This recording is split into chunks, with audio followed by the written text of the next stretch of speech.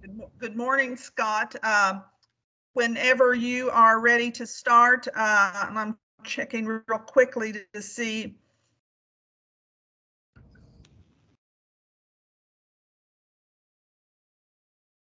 I think we're in good shape, so whenever you want to, to get started, we can uh, go ahead. All right, so um,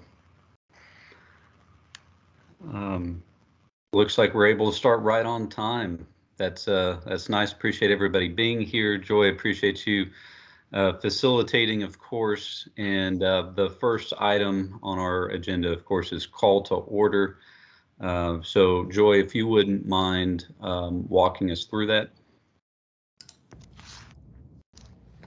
Uh, yes, I'm going, I'll do the roll call, and as we uh, have, have mentioned several Sorry, times, roll call. Um, When we call your name, if you will, make sure your camera is on, state your full name and say that you are present uh, for our record. Kelly Bradley.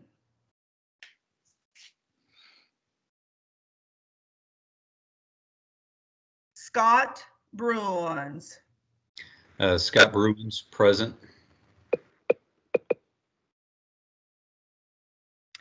Taylor Baumgardner.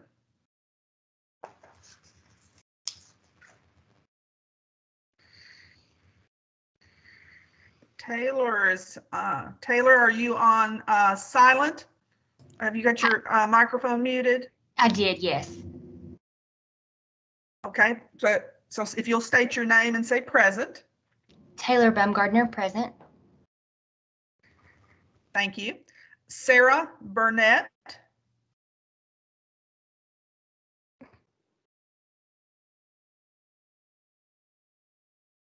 Stacy Earl. Casey Gessenhus, Casey Gassenhughes, present. Paula Jolly, Paula Jolly, present. Justin Mitchell. Teresa Nicholas, Teresa Nicholas, present. Valerie O'Rear. William Owens. Amy Smith, Amy Smith, present. David Trimble, David Trimble, present. and Chairman Bruins, we do have a quorum. All right, excellent. Um, do appreciate everybody um, attending this morning and being on time. Also appreciate it if you are able to keep your uh, videos running, even if you have to step away from view, um, however momentarily. Um, all right, so uh, I believe everybody has a copy of the meeting minutes from July. Um, you would have gotten these ahead of time. Um, but I'll give you um, a, a minute or so to look it over and offer any amendments.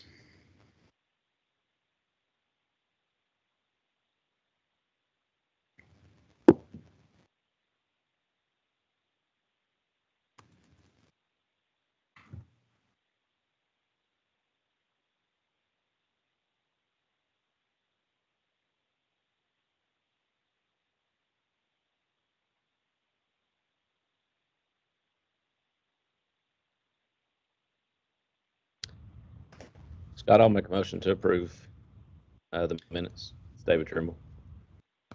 All right, uh, we have an emotion. We have a motion on the table to accept the minutes as uh, as stated. Do we have a second? Casey Gassenhughes, second. All right, all those in favor in accepting our July meeting minutes as uh, posted, please say aye. aye. Aye. Aye. Opposed? All right, minutes accepted. Um, all right, uh, we're on our way to item four. Um, Dr. Glass, are, are you in on this, uh, in on this call? I am. Good morning. Good morning, welcome. Thank you. Thank you. Yes. Uh, good morning. I'll do my best to be brief. It's great to connect with all of you. Um, I guess the the big news that we're still processing through is um, all the changes that are happening as a result of the um, special session or lack of changes in, in uh, most cases. Um, the department's recommendations to the legislature were focused on four areas. One was around uh, funding stability uh, to create um, uh, a system where we were funded for next school year based on a historical count instead of the average daily attendance method uh, that uh, typically we would use just out of all the disruptions that we're seeing to attendance for a variety of reasons related to COVID-19 uh, this fall. Uh, that's one of the uh, areas that the legislature did take our advice and direction. So what we have is a funding model for next year that's based on either the 1819 or the 1920 counts. So the districts can choose which one of those they want to use. Uh, the legislature will need to come up with some mechanism for handling growth in districts. So districts that are growing in numbers, um, uh, we need to figure out a, a uh, way to solve that. There are a number of ways to go about that, but the legislature's got some time to consider that when they're together um, this spring. A second area that we recommended uh, that the legislature take action was around what we called operational flexibility. Um, the problem was that districts had the 10 NTI days. Uh, they were hesitant to use those again because uh, average daily attendance would be impacted by that um, once they ran out of those days. And lots of districts were rightfully concerned about what would happen if they used their days now and then they hit a uh, an ice storm or a snowstorm in the uh, spring or in the winter, um, and what impact that would have. Um, so our recommendation was to add um, uh, more NTI days, to also add what we call temporary remote instruction days, uh, and to allow for 20 of those, to, which would allow the shift to remote instruction at a school, at a grade, or at a classroom level, whereas NTI is a district-wide uh, closure. So pro to provide greater flexibility for superintendents and school boards to decide at what level they need to shift to remote instruction. Uh, and we recommended allowing districts to shift to a hybrid uh, instructional model where where some students are in person, some students are out uh, for uh, this semester that we're in. Uh, the legislature only acted on uh, that temporary remote instruction element, so that middle one that I described, uh, the ability to shift to remote instruction at the school, the grade, or the classroom level, and they significantly limited that, especially for large districts, to 20 days. Um, so anytime you have a, a single school that uses a day that counts for that school, that grade, that classroom, and it counts for the district. So uh, if we really see this start to be used heavily in a district like uh, Boone or Fayette or uh, Jefferson County, they're going to go through those days uh, quickly, whereas another district, it would take them some time. Um, so that's um, that's operational flexibility. We also requested uh, for changes in staffing supports, the uh, expansion of the use of retirees. Uh, the legislature did act on that, but in a more limited way than what we uh, recommended. So districts can now use uh, retirees in, in some ways that they couldn't before, and there were expansion of the caps on that. But there's a limitation on those positions only through the end of this year. So uh, that's difficult from a staffing continuity standpoint. We recommended that they carry it through through the rest of the year, but they, they chose to put a, a limitation on it. Um, and then finally, uh, the element that received the most political attention was the end of the State Board of Education's universal masking requirement and the uh, devolution of that decision to uh, local decision making. Um, I'm appreciative that we have most of the, almost all of the school districts in the state have chosen uh, to continue with universal masking. We only have four districts that have chosen uh, otherwise, and I wish them the best. I hope it works out for them. Uh, but certainly, um, I think school district leaders and school boards and uh, advocates for that were wanting no masks could have been forgiven for that position in uh, July and August when we didn't know what we knew now.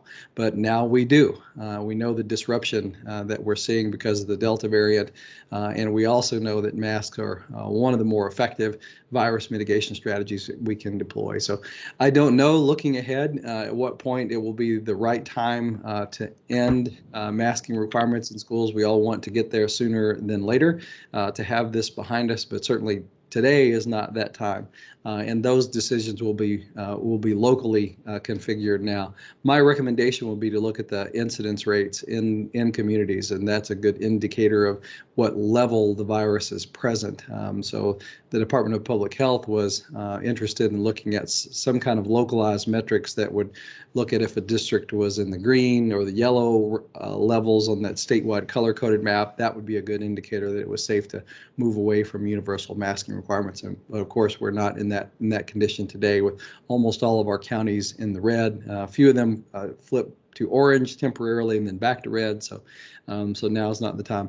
Uh, I don't know when uh, things are going to shift significantly on uh, those um, outbreaks. Of, co- of course, no one does. Uh, if you could predict what COVID was going going to do, you should be spending your time in Las Vegas or at, at Keeneland.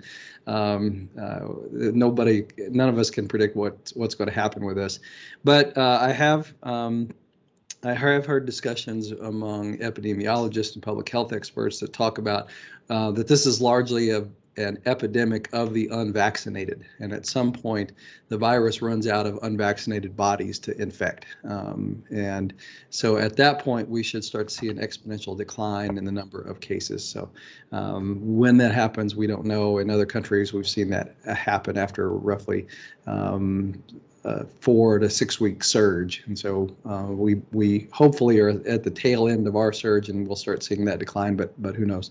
Uh, other exciting news, uh, we did see uh, Pfizer come forward with uh, compelling data showing that their reduced dosage for children 5 to 11 uh, showed a strong um, immune response among children and very low or um, uh, insignificant uh, adverse effects, certainly not enough to, um, when held in comparison with the disruption um, and damage and illness and death that uh, COVID causes. Um, so that's that data is all now with the FDA, uh, and, and eyes will be on the FDA now to see if they they will move forward with approval of the Pfizer vaccine and possibly the other two um, major vaccines, the Moderna and the Johnson and Johnson, uh, in the next uh, weeks or months. So um, we of course have a large unvaccinated population that we serve in schools uh, with children that are uh, under 11, and then our our children that are 12 to 18 are uh, among are, are the lowest uh, rate of vaccination group that we have. So we know the Delta variant uh, can infect, uh, can make sick, uh, can kill uh, students, um, and certainly it can infect them and and make the, make them vectors of the virus where they carry it to others in our communities. Um, so again, we're uh, we all want to get to a place where we have uh, vaccines available and we reach herd immunity either through vaccination or the hard way, um, and we can get this this uh, uh, virus uh, in in our rearview mirror. Um, shifting gears a little bit, um, we have been conducting uh, listening tours this past spring uh, to hear the perspectives of Kentuckians on uh, where we are now with education and where they would like to go. Um, so we gathered all that data in 11 listening tours. We had about 1,200 participants. This summer we had a intentionally diverse group of Kentuckians made up of people from all parts of the state, uh, from different walks of life, and and um, uh, roles in the education system. And uh, we intentionally included uh, groups and people who uh, traditionally have not been involved in decision making in Kentucky. So that was our coalition for advancing education they sifted through all of that interview data, all those 1,200 um, participants and their responses, uh, and are now in the process of crafting a future vision for the state that evaluates where our current state is. So, where are we now based on the experiences of Kentuckians, and where would we like to, to be? And of course, the hard work is going to be in bridging that those two, where we are and where we'd like to be. We hope to release that report at the upcoming uh, Kentucky Summit on Education. Uh, that's being held November 1st and 2nd at the uh, Louisville International Convention Center. Uh, registration is free. We do require uh, proof of vaccination or proof of a recent COVID test uh, for entry, but otherwise it's free. Um, we all are also working with KET on live streaming the event because we'll be uh, keeping our attendance lower um, to allow for better social distancing. masks will be required at the event. Um, but we will also we are also working on that live streaming, uh, hopefully in partnership with KET to make it available for folks that can't uh, make it to it.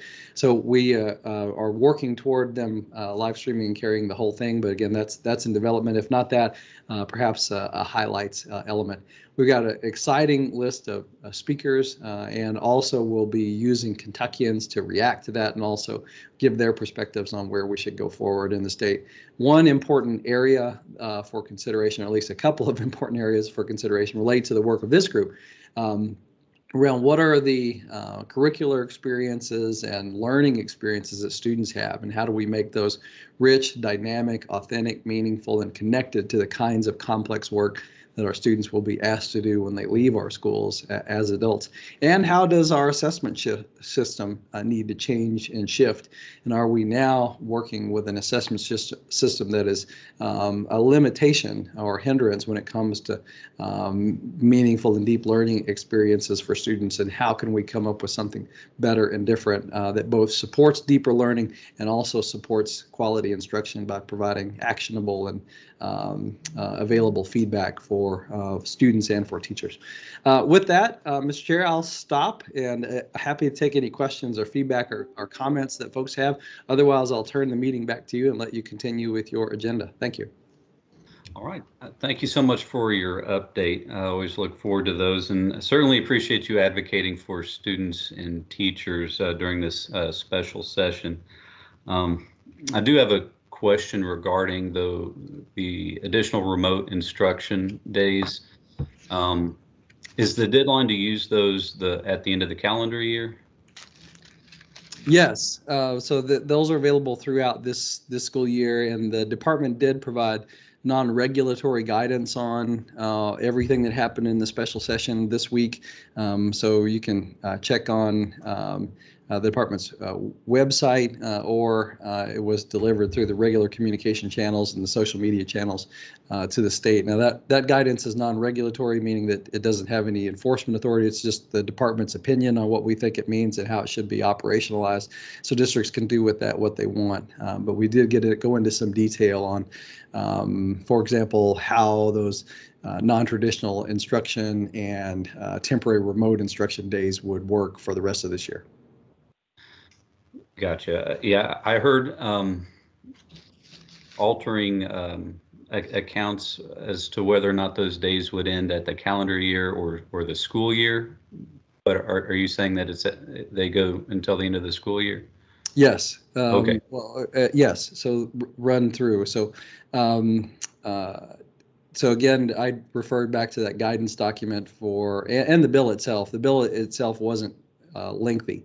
Um, so you can look in the sections um, and see exactly what parameters the legislature put around the use of those days. Well, great. Th- Thank you so much again for uh, advocating for us. I'll open the floor. Uh, Does anybody else have any questions for Dr. Glass?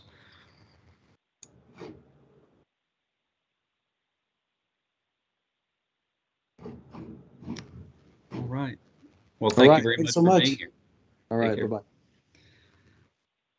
All right, next up, we have item five, um, our annual election for board chair and vice chair. Um, Is, Joy, is this something that um, I can facilitate, or is that going to, is that vote going to fall under you?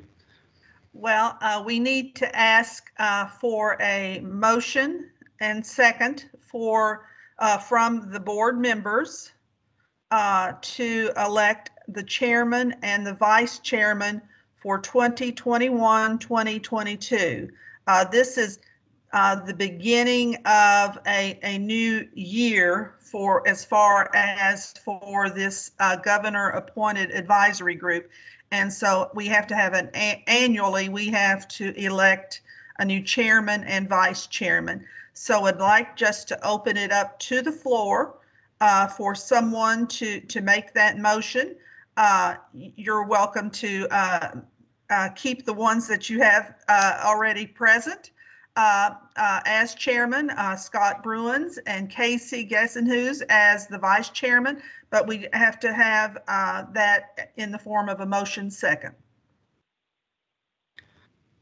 I don't mind serving again, but if somebody would like a crack at it, um, I'll, I'll fully support anybody who, who has that volition. I was going to say the same. I don't mind to continue to serve, but I'm happy to let someone else. I make a motion to keep Scott as our chairperson. All right. Uh, Thank you, Casey. Are are there any other nominations for chair?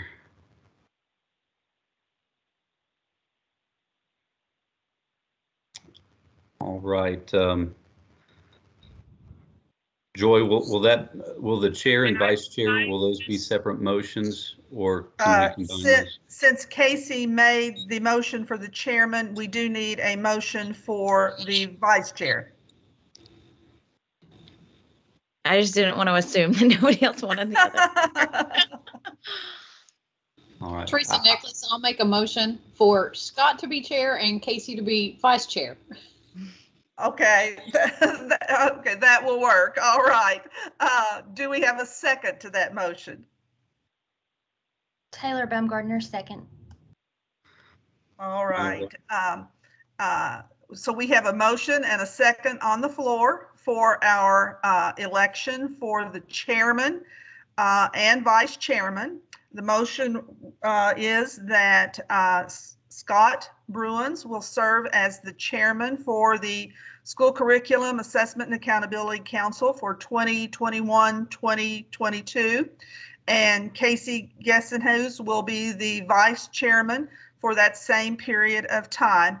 Uh, We do need to take roll uh, for that for your approval. Uh, Kelly Bradley, Kelly Bradley, present. and do you uh, approve the motion? Yes, I approve. All right. Um, Since uh, Taylor, Taylor Baumgardner, Taylor Baumgardner, uh, yes. okay, uh, Sarah Burnett, I don't believe she has come yet. All right, uh, Stacy Earl. Uh, Casey, you can't vote. Paula Jolly, Paula Jolly, I approve. Justin Mitchell, uh, Teresa Nicholas, Teresa Nicholas, yes. Valerie O'Rear, and William Owens are not present. Amy Smith Amy Smith, yes. and David Trimble. David Trimble, yes. All right. Well, congratulations, uh, Scott and Casey. And at this time, I'll turn it back to you to continue with our meeting. Okay, thank you, Joy, and um, thank you to the council. I guess I must not be doing something too awful. Um, So appreciate the, the vote of confidence. Um, With that, we'll move to item six. Mr. Chair? Yes, sir. I'm sorry to interrupt. Uh, I, I did make an error in the information that I gave you. The uh, temporary remote instruction days do expire on December 31st. I just checked the bill. I meant to just put that in the chat and let you know, uh, but I couldn't, uh, didn't see it on here. So I just wanted to um, make the record clear for that. But again, I just encourage everyone to look through it in the guidance. Thank you. Okay, yeah, thank you. Um, Like I said, I, I heard a couple different things about that and was, was just looking for clarity. Um, So it was the idea with that deadline that um, the legislature would be in session and could approve additional measures? Uh, I'm not sure that um, I heard their rationale for doing that. I know that there was a significant interest in limiting uh, the number of days that districts uh, could potentially use. Um, i- of course, if we're still dealing with COVID disruptions when the legislature's back in session, they would have the opportunity to make changes uh, in January or beyond as well. All right, well, fingers crossed. We'll see what happens. Thank you. Um, Okay, uh, yes, item six, advancing education project overview. Um, Ms. Dodd, are you with us? I am. Good morning, everyone. I'm Karen Dodd. I'm the Chief Performance Officer at the Kentucky Department of Education. Um, Ben, if you can go ahead and pull up my presentation. Um, I oversee strategic planning and research here at the department. And to that end, part of what we're doing right, we've got a lot of moving parts going on right now. And so we've put all of that under the umbrella of advancing education and created a project around that. Now, Dr. Glass stepped all over my presentation this morning, but I will go ahead and fill in some other blanks for you. Um, we don't have that up yet, but I'm gonna I'm gonna go ahead because I do have it in front of me. So the purpose of the Advancing Education project is to utilize effective listening techniques and co-create tools and resources with diverse stakeholders for the purpose of meeting the needs of students, families, educators, and community leaders by changing how we educate in Kentucky. Thanks, Ben. If you could go to the next, the component slide, slide number four, please.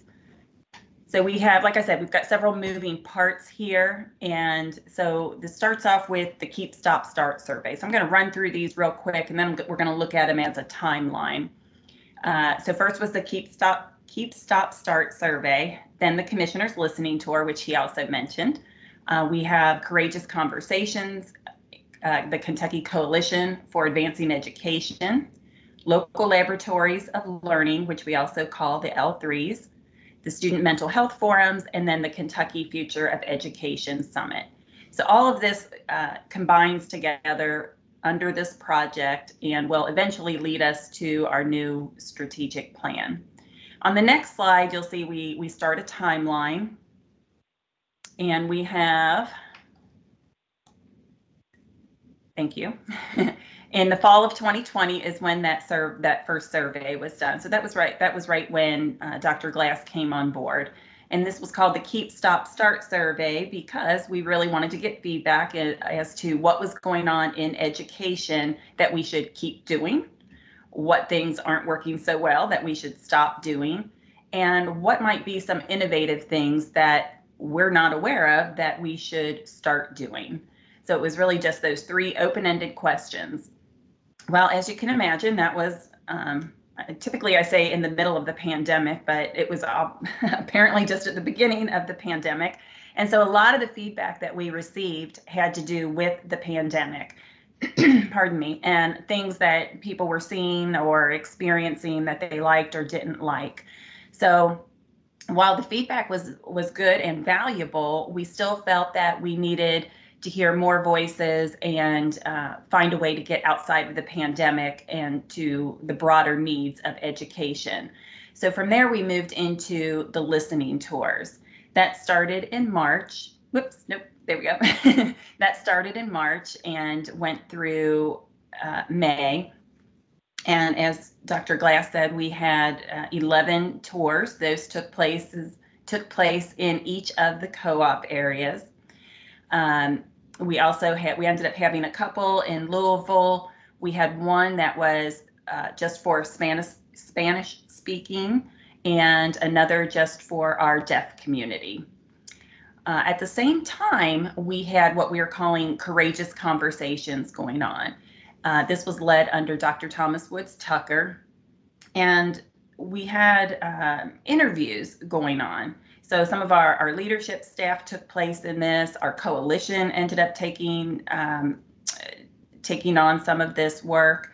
And, and folks from the listening tour also volunteered to do some of these courageous conversations. And what that is was basically interviews. So uh, we would go out and interview someone, maybe part of education, maybe not. It could be a community leader, it could be a legislator, it could be a parent, could be a student, could be a teacher uh, and just asked a couple questions and really dug deep into that. So it might have been something like, what is something, um, what is some feedback that you received from your school?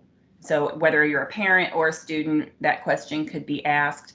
And then how did that feedback make you feel? You know, what what do you think could have been done differently? Do you, did you feel engaged? Really digging in to understand the experience of that person when they received that feedback. So we had various um, questions that we asked and did a, a deep dive in that way. And those were what we're calling those courageous conversations. That all led into our coalition. The coalition started meeting in June. It was made up of 62 uh, stakeholders. They included uh, students, parents or families, teachers, school leaders, district leaders, and community leaders. And they all came together and we met every Tuesday evening in throughout June. So that was five meetings. And they looked at all of the input that came from the, the survey, from the, the listening tours, the courageous conversations, and they tried to figure out what is the current state of education? How are people viewing education via all these answers that we have received?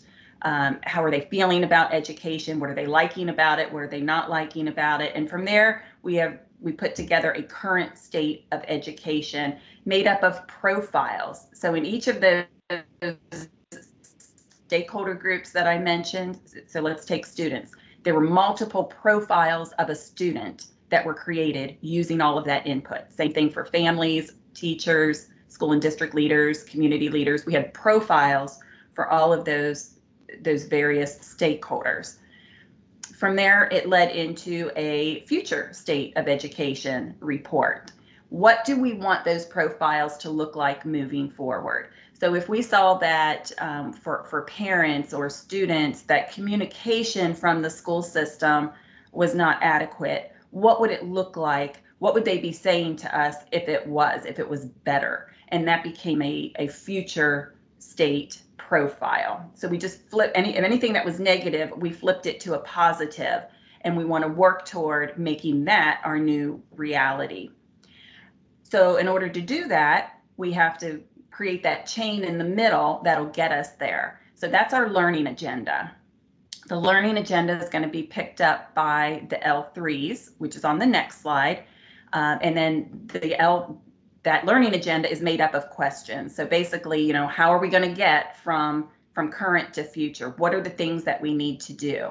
So they're like research questions. If, if we do these things, then we expect this kind of an outcome. So each one of our, our regions is going to, or I'm sorry, each one of the, the districts that are involved in the L3s, you can go on to the next slide.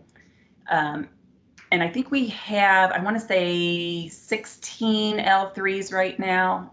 Um, don't quote me on that. I, I think it's right around there. And each one of them we expect will choose different questions out of that learning agenda to really focus on. And it may just be one or two questions that they'll pick out. Uh, and sticking with the, the communications theme that I had going here, maybe they'll say, you know, we really want to work on improving communication communications to our family. So they'll look through that section of the learning agenda and figure out what are some things that we feel that we can do in our district to move from that current state to the future state. And then they'll start working on that and they will be sharing back with the co the state level coalition their findings, you know, what how things are going, what did they put into place to get there? And that'll all be shared to up to the state and then shared out um, statewide. Um, next, September through October, we have the Student Mental Health Forums. This is being run out of the Lieutenant Governor's office, and she's working with some of our student advisory group students. So those who, the, the students that come together to advise our commissioner. Um, they are doing some of the facilitating, I believe, of some of these sessions. And this is something my understanding is, you know, we, we were looking at this as a one-time thing, but I believe it's going to to live on beyond just these initial um, sessions or forums that they're doing. And that will also be part of the summit. So as Dr. Glass said, the summit is coming up. It's November 1st and 2nd. Uh, and all of these things are going to be shared out. Dr. Glass will be sharing the future state of education, um, we ended up combining the current state and the future state. So that'll be one report, and he'll be sharing that with us at the summit. Um, I believe we're going to have we're going to see the lieutenant governor and some of those students, hopefully in a in a panel, so that we'll be able to ask them questions on how everything went there and what they're hoping for for the future. So that it should be really exciting. So um, if you can't attend in person, definitely tune in because I, I think it'll be well worth your time. And that is my presentation. Uh, if you have any questions, I'm happy to, to stay on and answer. All right, thank you very much. That's got to be a tremendous undertaking to assess the state of education um, within the Commonwealth. Um, are there any questions for Ms. Dodd?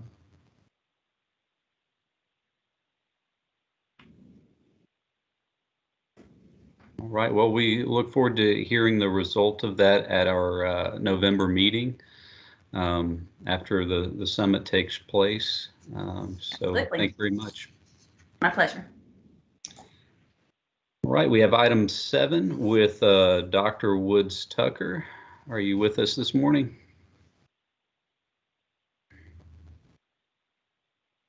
I believe you're still on mute, Doctor. Uh, Thank you. sounds good. Yeah, Yes, I am here and just ecstatic to be back uh, with you. I can't believe this is my second time, uh, uh, Nathan, have an opportunity to uh, engage in conversation with you all. Uh, now, I have to uh, confess early on, I don't know if I've quite mastered the art of brevity as my colleague Karen Dodd, but I'm going to do my uh, very best, um, Ms. Baumgartner, to do so. So let's try this. I'm going to go ahead and um, share my screen with you. Now, it worked earlier. It worked earlier, so let's see.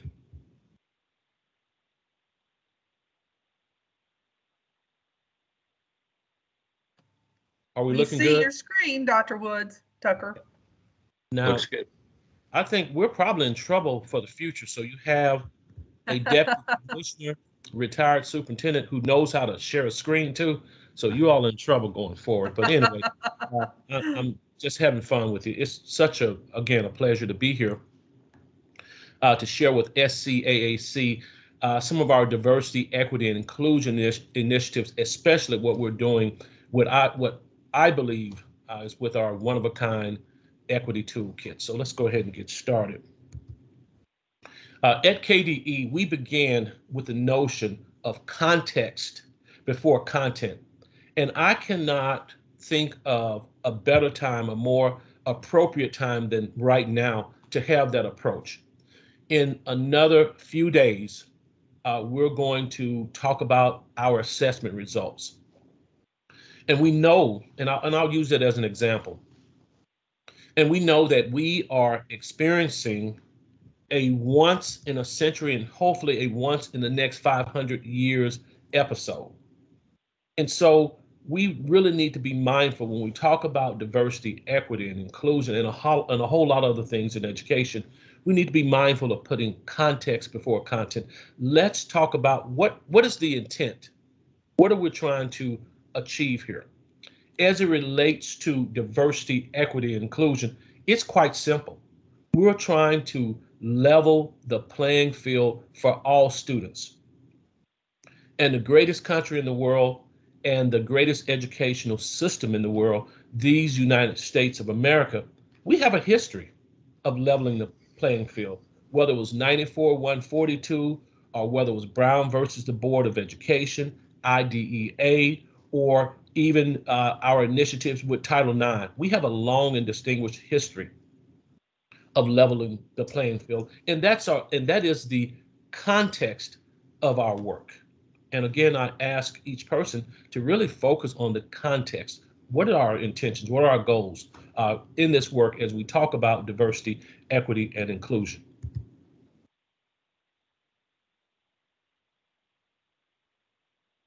To the next slide.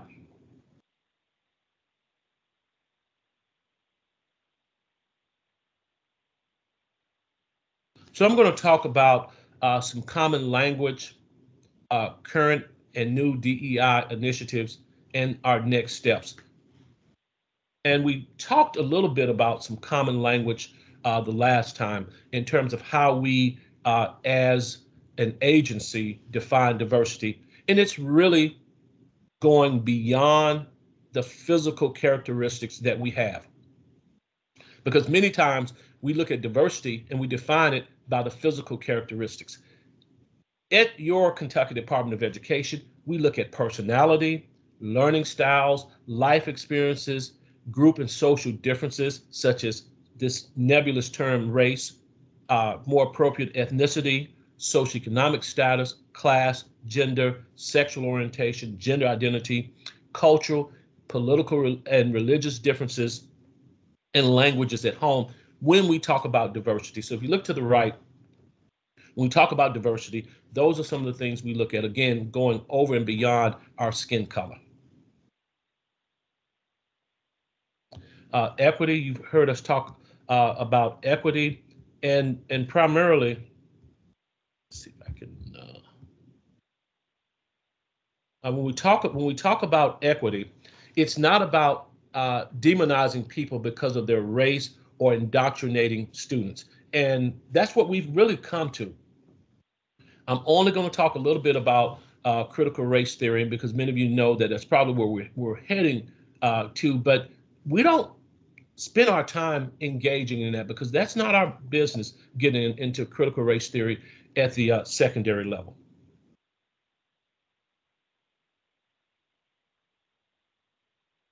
And I want to uh, quote our commissioner. Um, he was just on and, and may still be with us. And Dr. Glass defines equity in education as fundamentally an effort to ensure that all of our students have the supports they need to meet our academic standards and to reach their full potential as students, citizens, and human beings. And equity focused in education recognizes that public school students, and we all recognize this, they don't come to us all ready to go. They come with us uh, from a variety of backgrounds, needs, supports, and we take those into account when we consider the education of each child.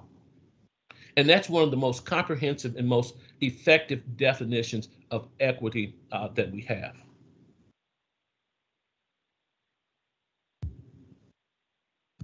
Inclusion is the intentional act of creating an environment that fosters mutual respect, uh, respectful relationships in which each student, regardless of their intellectual, social, cultural, geographic background, is welcome, supported, and valued as a fully participating member of society. Uh, many of you also know that I am a I'm a former middle school principal, and one of the things I really enjoyed, and some people thought I was crazy, was supervising the middle school dances, getting three, four hundred seventh and eighth graders together in a gym and dancing. And we know generally boys on the left side, girls on the right side. And what we wanted to do, we wanted to get our students to mingle and to get to know each other because that's one the, that was one of the few times we could get all of our students together. So when I talk about diversity, equity, and inclusion, I think about one, earning an opportunity to come to the dance, two, being asked to dance, and third, being celebrated for coming there. Okay, I see my screen is shifted. Let's see if we can go down here. When I think about the intent of this work, again, it's about closing the opportunity gap. Uh, many times we talk about the achievement gap, and when I look at the work we've done over the years, when I see this huge discrepancy, and you're going to see some scores here in a little bit, and you're going to, and, and we've seen them historically, uh, gaps in uh, student scores. And we have to put it in, in, in uh, context. And I ask that you do that. But I also would ask and I challenge people to focus on removing the opportunity gaps because when we look at the achievement gaps, and they are they they're just they're disturbing in, in some cases. But what happens is unfairly places the blame on kids and their families it simply implies that children are not achieving, or teachers or principals and superintendents are not helping kids to achieve where they should be. And it's the kids' fault or the school's fault. But I say to you that it's really about opportunities. If we work hard to close these opportunity gaps, we will draw attention to the conditions and the obstacles that students face throughout their educational uh, careers. Therefore, it's accurate to place responsibility on an, on an, an equitable system that I'm really, really proud to be here at KDE that we're trying to dismantle this inequitable system. This system that's not providing the opportunities for all kids to thrive and succeed. And I wholeheartedly believe once we uh, get rid of those opportunity gaps, all of our kids will succeed. So now let's move on here quickly to discuss our current and new diversity, equity, and inclusion programs across the Commonwealth for school districts. And it starts with our toolkit. Imagine that toolkit uh, that that your parents had. You know, you go in the basement, you go on the front porch, whatever your toolkit was, and you went and you got that tool to fix whatever you needed that was appropriate to be fixed at home. And so that's what we've created here or here at the Kentucky Department of Education. It is really embraced by a multi-tiered system of supports. These tools are fantastic. But if we don't address the social, emotional, and learning needs of our students and staff, these tools will not work. Again, so proud to be here at your Kentucky Department of Education that values this whole child. Uh, as I talk, uh, continue to talk with my children, I have three teenagers, and I talk with our kids in the Commonwealth. They really don't talk a whole lot about about the academic loss. We have great kids, great teachers, principals. Uh, parents are sending their best kids to school. As I used to joke, they don't keep their best kids at home; they send their best kids to school. And so it's um, it, it, it's great when we talk with kids. They don't spend a whole lot of time talking about the academic loss. They talk about ensuring uh, that we address their social and emotional needs. And kids who are back in school, they're happy to be back uh, socializing with their friends. And as Commissioner Glass has said, let's really uh, deploy, let's employ those types of things that are going to keep our kids in school, uh, vaccines, masking, and so forth. But here are some quick tools in our toolkit, uh, starting with our high quality academic standards. I'll talk a little bit about that. I'll talk about the funding we have for our high quality instructional resources that we're going to make available for all of our schools here in the Commonwealth, our equity dashboard that I'm exceptionally excited about, the equity playbook, which is moving along, and the A4 module, and the K to Kentucky Academy for Equity and Teaching uh, program. So let's go ahead and discuss those things here. Uh, as I mentioned uh, the last time, uh, we start with the Kentucky Academic Standards implementation. Again, that's the first defense in removing those opportunity gaps because these standards uh, should should ensure equitable access to our pre-K through 12th grade students, regardless of what school they're in. And our folks in the Office of Teaching and Learning and, and Assessments and across the entire agency are working hard to ensure our standards are in place. And certainly want to thank uh, Micki Ray for the work she's doing and our whole team and our teachers here and other folks across the Commonwealth who are ensuring that we have updated high quality standards uh, we're, we're very uh, fortunate to be uh, associated with the Council of Chief State School Officers. They have provided us over a quarter of a million dollars to establish uh, pilot projects to ensure that our school districts have high quality instructional materials to go along with these standards. And these materials are, are engaging, they're relevant, and their standards aligned. And that's the beginning, ensuring that these materials are aligned to the standards, the grade level standards, and they focus on feedback and reflection.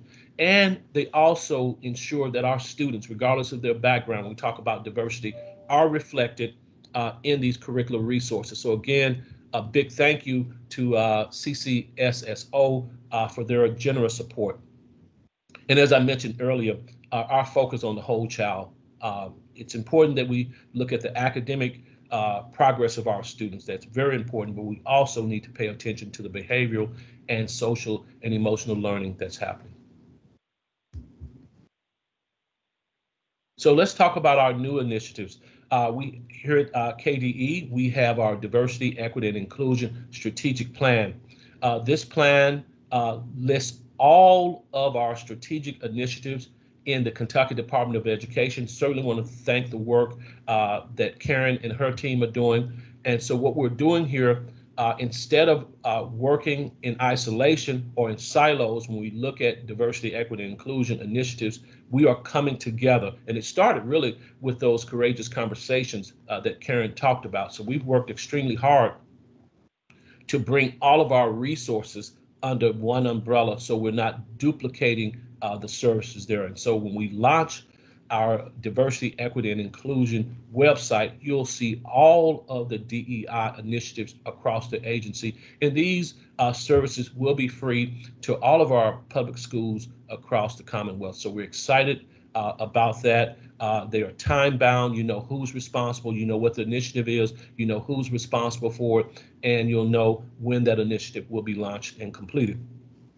Again, uh, uh, this toolkit uh, all will all encompass these types of things that will help us reduce these achievement gaps.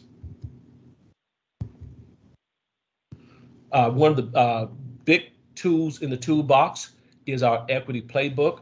Uh, that is an initiative in which 70 of our 170 districts have already signed up. Now, we can talk about these opportunity gaps that exist all day long and we can admire the data, but the fundamental question is what are we doing about it? And since the last time we talked, I want to give you uh, some more details about our equity uh, playbook. The playbook is built around five research-based pillars for success in removing opportunity gaps. Student achievement. Uh, we will look at each school district and each participating uh, school within that district. We'll look at their student achievement data and we'll be able to pinpoint any gaps that exist amongst our various student groups. Do we have a group of students um, that's overrepresented in our more rigorous courses? Do we have a group of students that that's underrepresented in our student achievement group? And so uh, this will give us real-time data with that. The same is said with disciplinary practices and procedures. Are we seeing that a certain group of students are being more disciplined, are being disciplined more than other students, are being uh, more harshly disciplined? Again, real-time data, because what we do know, uh, if students, all students are provided opportunities to be in more rigorous courses, they achieve better, uh, they develop greater grit, they persist, and they graduate. We also know if we're disproportionately suspending kids, they're out of school, they're not going to learn. Same thing can be said for uh, suspensions and expulsions. The third pillar here quickly, high quality programming and teachers. We need to engage all of our students. You cannot teach a kid to high jump if you never raise the bar.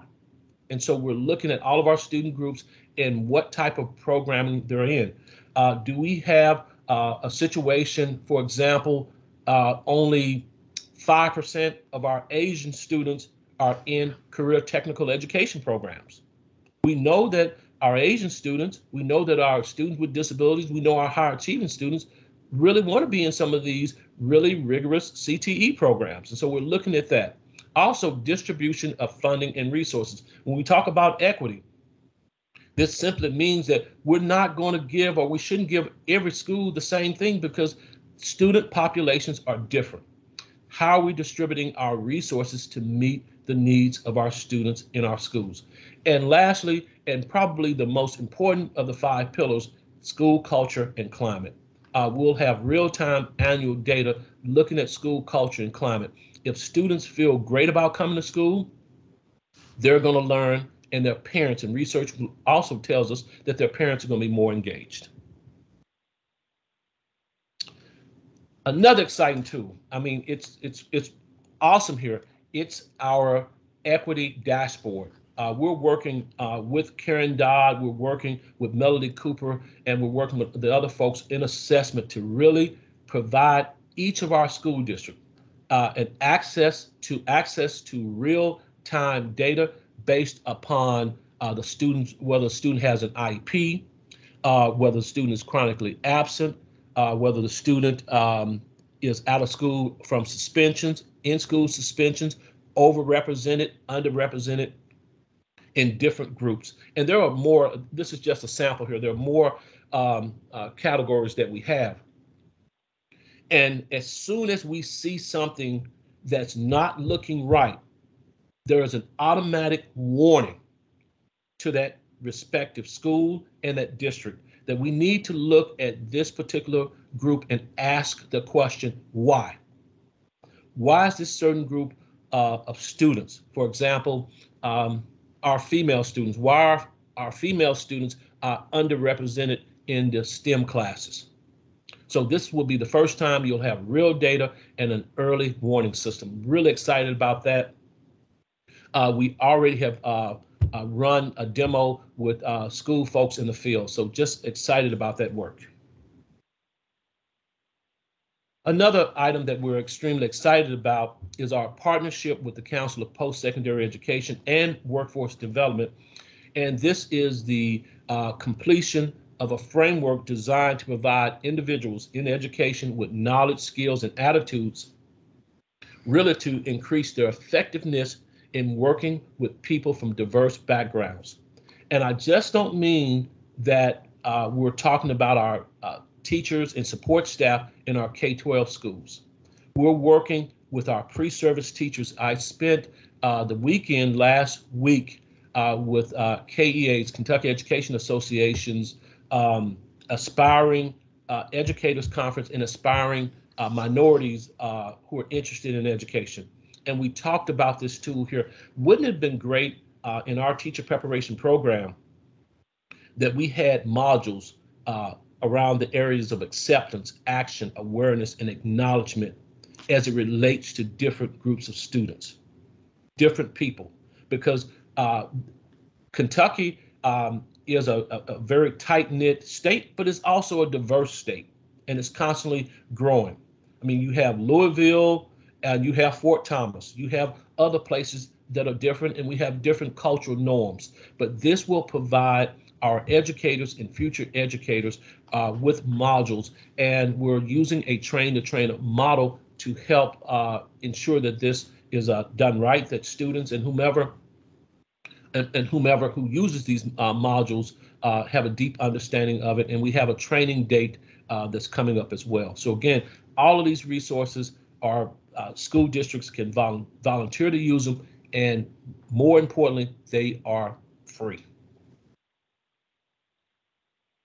a couple other things here. The last time I spoke with you uh, about our uh, policy scan, in which we're asking every person beyond our local superintendents and our district staff um, and our students, we're asking everyone in the in the Commonwealth to please log onto our website and give us uh, your thoughts and your opinions on what's working well and what we can do also to improve diversity equity, and inclusion in the Commonwealth. And we're going to highlight many of those efforts as well. So excited about that. Then also, uh, we are well underway with the funding for the Kentucky Academy for Equity in Teaching.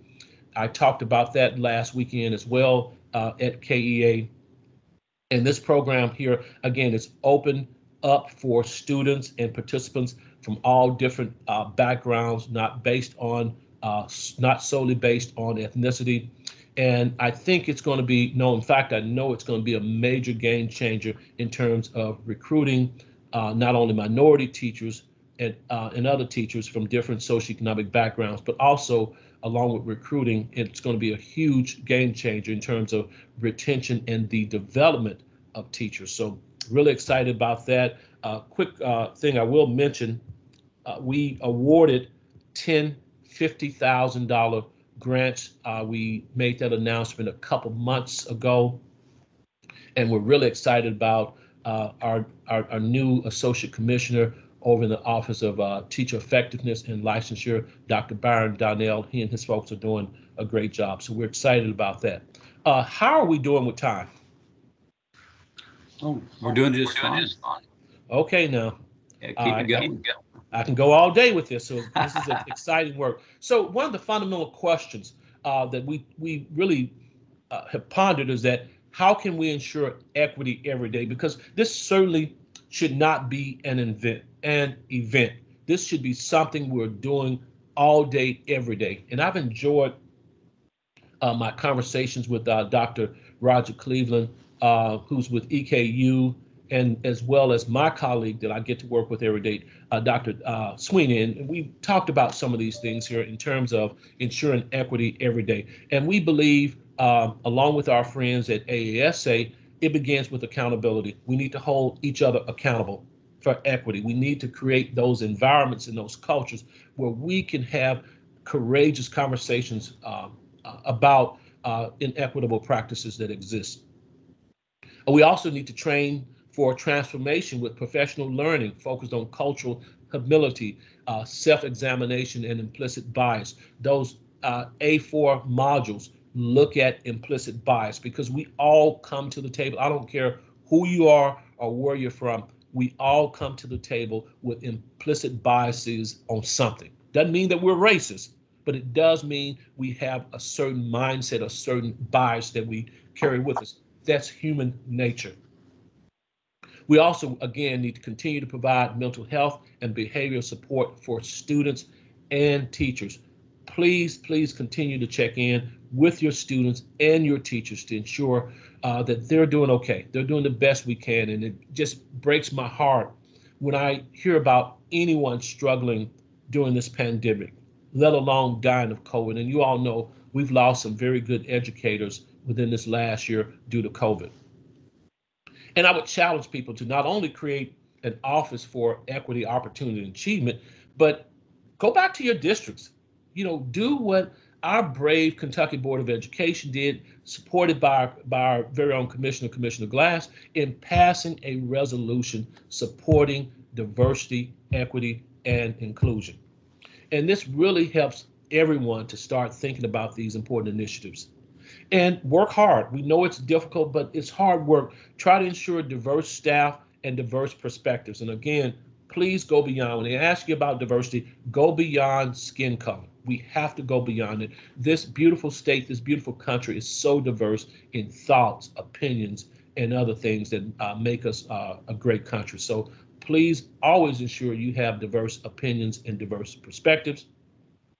As I said earlier, please challenge yourselves. If you don't create a policy, at least have a resolution uh, covering curriculum and instruction, communication, and enforcement.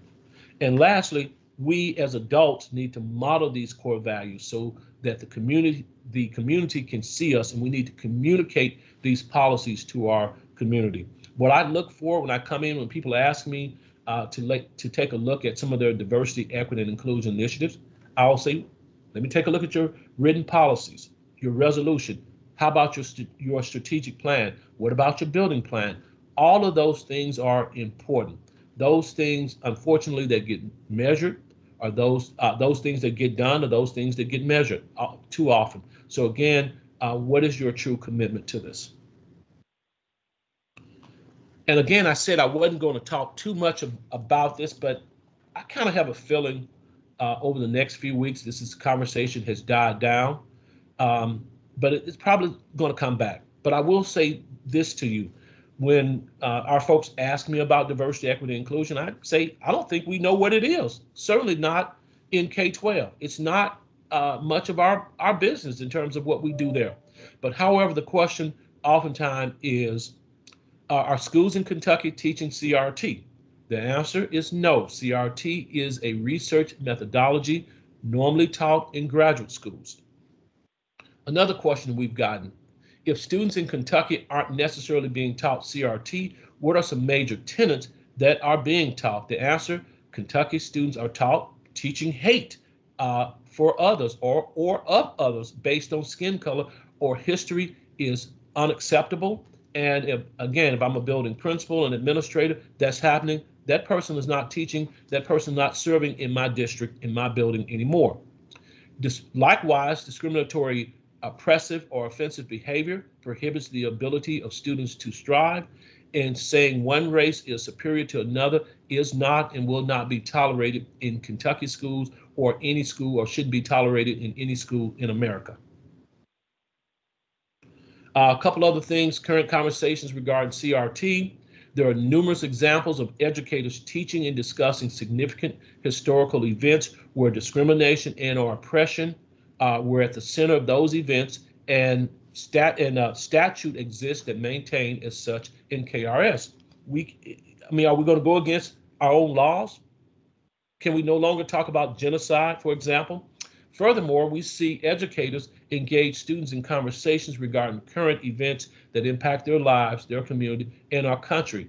Are we going to have students walk in and say, oh my God, we can't talk about this? Again, we're now going against uh, the statute, the KRS statute. We're also going against our long held belief in our beautiful Commonwealth that our districts are, our schools are locally controlled. And lastly, the Kentucky Department of Education recognizes a goal to prepare all of Kentucky students for civic engagement. The KDE is also working on guidance for educators that will help uh, teach students agency and empathy through social and emotional learning. And those are the important things that we want to achieve here at your Kentucky Department of Education. Uh, one other question, are school districts mandated to follow KDE guidelines regarding DEI? Is there a monitoring system or document? The answer is no. Our job is to be a resource. It's to be a resource. It's not to monitor. It's not to tell people what to teach, how to teach. We do, uh, we give you a framework in our standards. So the uh, answer is no. Kentucky is a locally controlled state. And the important part here as I get ready to close is how can we educate the community on these topics here? We can educate through presentations and guidance documents using implementation uh, and science and feedback loops and begin with allies. You're not going, your foes, you're not going to convince your foes or people who think otherwise. There's no way you're going to convince them, but begin with your allies. And I believe in my heart of heart that our folks here in, in Kentucky, the majority of our folks here, want all of our students to succeed. Because when all of our students succeed, the Commonwealth succeeds, especially economically. And listen to stakeholders. You heard uh, Karen Dodd talk earlier about these listening tours. Those listening tours were, were just very powerful. Uh, and our student advisory committee, huge, the uh, uh, Student Advisory Committee and listening to our students. And, and I really believe, folks, that that's where it begins and ends, listening to our students. And also uh, having a student on the Kentucky Board of Education and a teacher, huge. Those are prime examples of our commitment to listening to our stakeholders. And also, we need to be in a place where we challenge, where we can uh, challenge each other and discuss uh, solutions in working uh, together as we go forward. Then also prioritize the implementation again of a multi-tiered system of support. Care before content. Care before content. And then we do and we continue to do not so much of a great job in telling our heroic stories. There are great things happening in the Commonwealth across all of our districts in regards to helping students succeed, helping staff members succeed, pitching in when necessary. So please, please uh, continue to highlight and tell our stories because if we don't tell the great stories that are happening in our districts, who will? Uh, some next steps here, and I'll wrap up uh, with some next steps. Uh, we have funding uh, for the A4 modules. Uh, we are going to begin releasing the first module here in a couple of weeks. I am so uh, ecstatic that Lieutenant Governor Coleman, as well as Commissioner Glass, our board president, and I had an opportunity to help with the creation of these modules and we are working with our educational co-ops to provide training uh, for our local school districts in the co-ops. The Equity Toolkit training will be October 20th and 21st. We're still working on the location given this pandemic. Uh, we're trying to decide whether it's going to be in person or we're going to continue to do this remotely. And then we are uh, we ask each co-op uh, to uh, uh, give us two people, if you will, uh, to assist us uh, in this training so we can really meet the needs of our folks in the local school districts. And along with that, excited about this, uh, with the support of our folks at uh, KDE uh, in our finance office with Commissioner Glass and, and really all of our folks across KDE, we're able to employ one diversity, equity, and inclusion coordinator for each of the co-ops to help this work uh, get infused in our local schools. So we're happy about that. And um, we will uh, start setting dates uh, to, uh, to train district and school level uh, leaders on the entire equity toolkit. So excited about that. A lot of work going, and um, I have no doubt that this is uh, one of the most comprehensive and will be one of the most effective approaches to begin to close the opportunity gaps that exist here in Kentucky and across this great country of ours. Thank you. All right, thank you. Thank you. Dr. Woods Tucker, uh, I'm especially appreciative of your statement um, about CRT as a social studies teacher in Kentucky.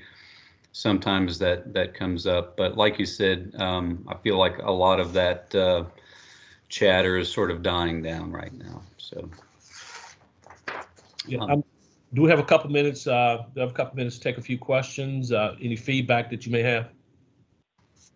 all right, we'll open the floor.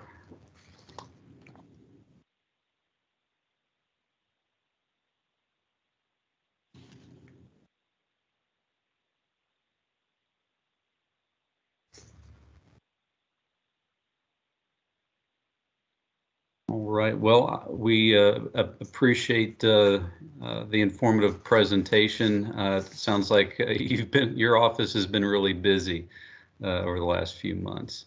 Oh, yeah. Um, So appreciate, I look forward to seeing the results of uh, those conversations. And I especially appreciate the, the fact that um, th- th- this whole concept of uh, equity and diversity, that it's, uh, it's, it's not hand, heavy-handed. It, it's uh, more organic and it's, it's more um, uh, cultivated. And I think even in this, and I appreciate that, even in this highly charged political climate, when you look at the, the work uh, that it will take to successfully launch and implement uh, our, our equity toolkit, 70 of our districts signed up, volunteered to uh, participate in the work uh, for the, now remember the equity uh, dashboard is free. It's your data. It stays in your district. Uh, but the other work we have, I mean, it's just just fascinating to see so many districts uh, sign up for this work, and uh, just just really great to have uh, 70 districts signed up for the equity playbook, which will look at those five pillars that I talked about earlier. Even in this, again, in this politically charged climate, so excited about that. All right, well, thank you again, Dr. Woods Tucker. Um, Next up, we have uh, Ms. Jones with the ACT online.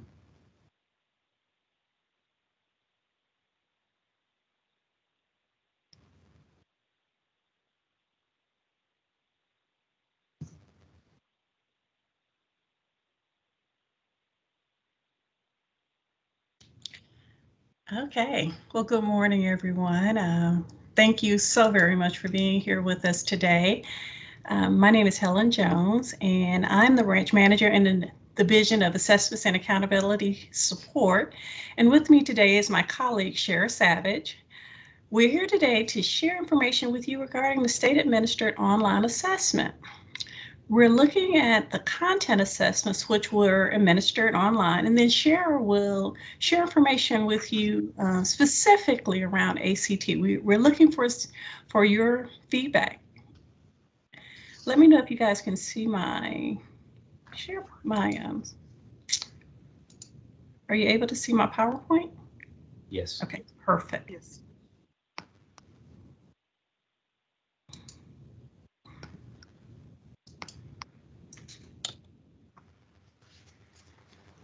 So, just by way of background, we've shared this information with the Commissioner's Student Advisory as well as with our district assessment coordinators, advisory members. Um, I want to begin by discussing the progression of online state assessments in Kentucky.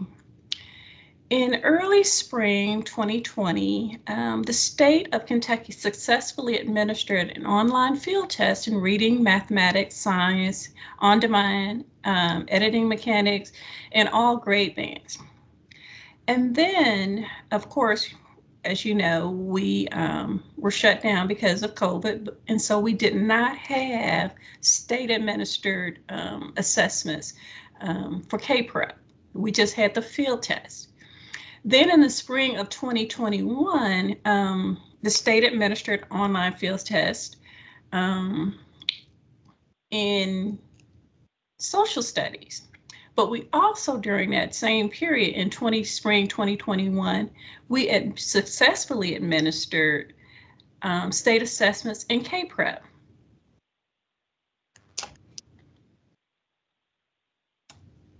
Sorry. Okay. So as you can see, um, KDE and our vendor Pearson was able to track the number of tests that were successfully completed um, during this time. This slide uh, shows that over three days, within three days, as um, that during the testing window, this was May 10th, 11th, and 13th, there were over 100,000 tests. This is online assessment. This is just online, just purely online. We successfully administered 100,000 tests per day, and this is just for just those three days. And then for the entire testing window for K-PREP, this is strictly K-PREP, the state successfully administered 1,147,025 online assessments. Additionally, we also conducted a social studies field test. And for the social studies field test, there were an additional 53,536 field tests that were, administ- that was administered um, during this same time period. So this is what I would like to do. Um, for those of you who've had any experience with online state assessments, um, we would like to hear from you. We just want to hear, I want to take a moment during this presentation to just describe your experiences with online testing.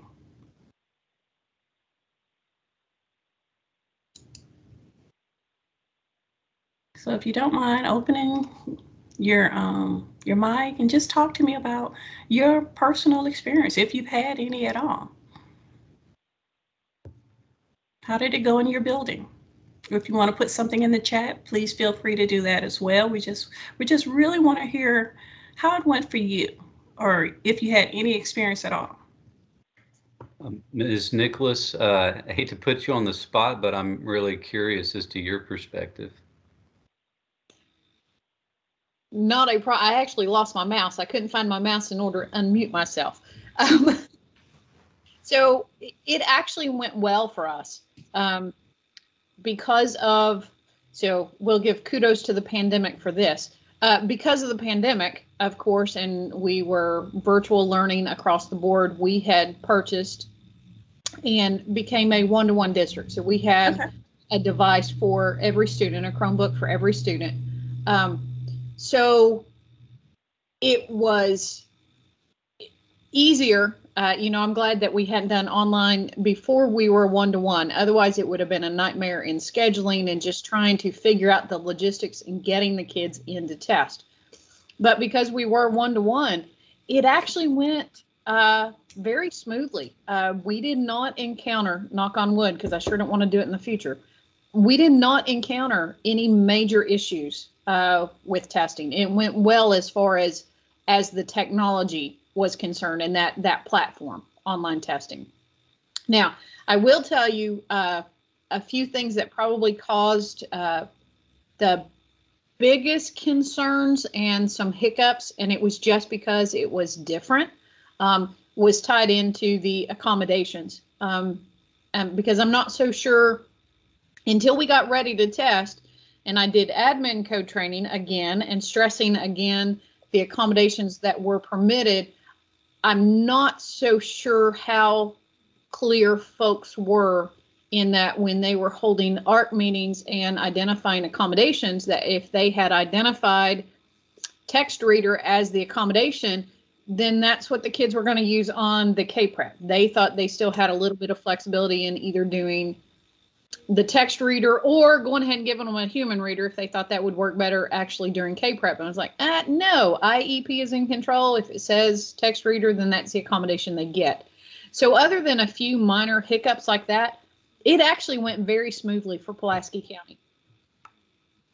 That's good to hear. That's good to hear. Anyone else? Of course, Helen, I will add, and, and I think this crew knows this, I'm, I'm the representative for the DACs.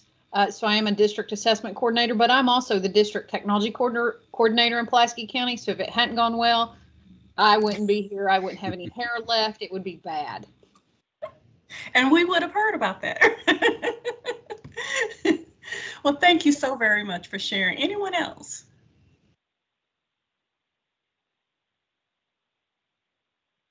Well, sh- Yeah. look how- okay, go on. Yeah, um, we're not, I'm, I'm in Scott County. We are not a one-to-one district, so we were a little bit technology constrained. Um, I don't think it presented itself as a problem. Um, we just had to be a little bit strategic in how we we scheduled everybody and, and balanced it with, you know, daily instruction. Um, you know, it did require us to repurpose some of our Chromebook carts for, you know, from learning in the classroom to to assessment. But uh, overall, I, I don't think that it was a problem. Uh, do you see this as more of a permanent transition?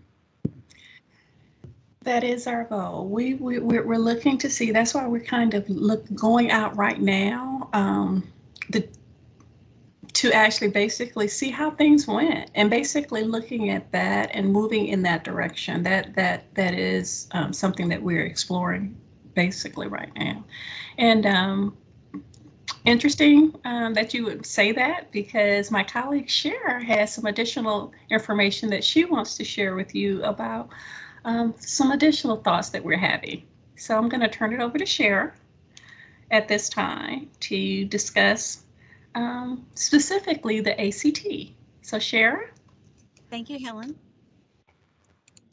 Um, so uh, thank you all for your, your feedback. Uh, I'm certainly glad to hear that uh, things went really well for you in the spring, but you know, considering the the pandemic and the, the situations that we were in uh, in the spring. So uh, I'm I'm encouraged uh, to hear the positivity from you all. So uh, with that being said, yes, uh, we are exploring and, and going to talk about um, the ACT online. So um, the ACT began as an option, uh, and it's still an option at this time, um, in the spring of 2017. Um, of course, the numbers were small uh, during that first first year of, of an option of a, an online ACT. We only had about 303 students to take advantage of the online ACT. But as the years have progressed, and as you can see from your slide, um, we have increased in that number. And and last year, uh, during the pandemic, you all found uh, the flexibility with the online testing. And um, we, we tested 13,959 students successfully online. So uh, with that being said, Oklahoma uh, is another uh, state who, who administers the state uh, version of the ACT. And now, um, Oklahoma, this is what they are doing. This not necessary, not to say this is what we are going to do, but um, they they have uh, mandated that um, the ACT be given um, online, uh, and has done has it has been mandatory in Oklahoma for the last three years. Um, in the most recent uh, spring administration, over 99% of their examinees did test online. Um, you know, in the in the early years, um, the districts and, and, schools, just like many of you uh, with the K-PREP, uh, expressed concerns about devices and network capabilities, um, and they were worried about those scores uh, being lower. Um, and um, so as as the years has went on, that you know they they are uh, becoming increasingly uh, solidly online. Um, now they're still even with with the big push from Oklahoma to be online, they um, still have a small number of paper uh, tests from uh, from that from accommodations that, that simply cannot be accommodated on, online. So they they still do see some paper testing, but it but it is rare. So, uh, given that, what so what what would be a what would be the pros of of moving the ACT online? So, students are already familiar with the, with the TestNav sy- system because that's what we use for KPREP.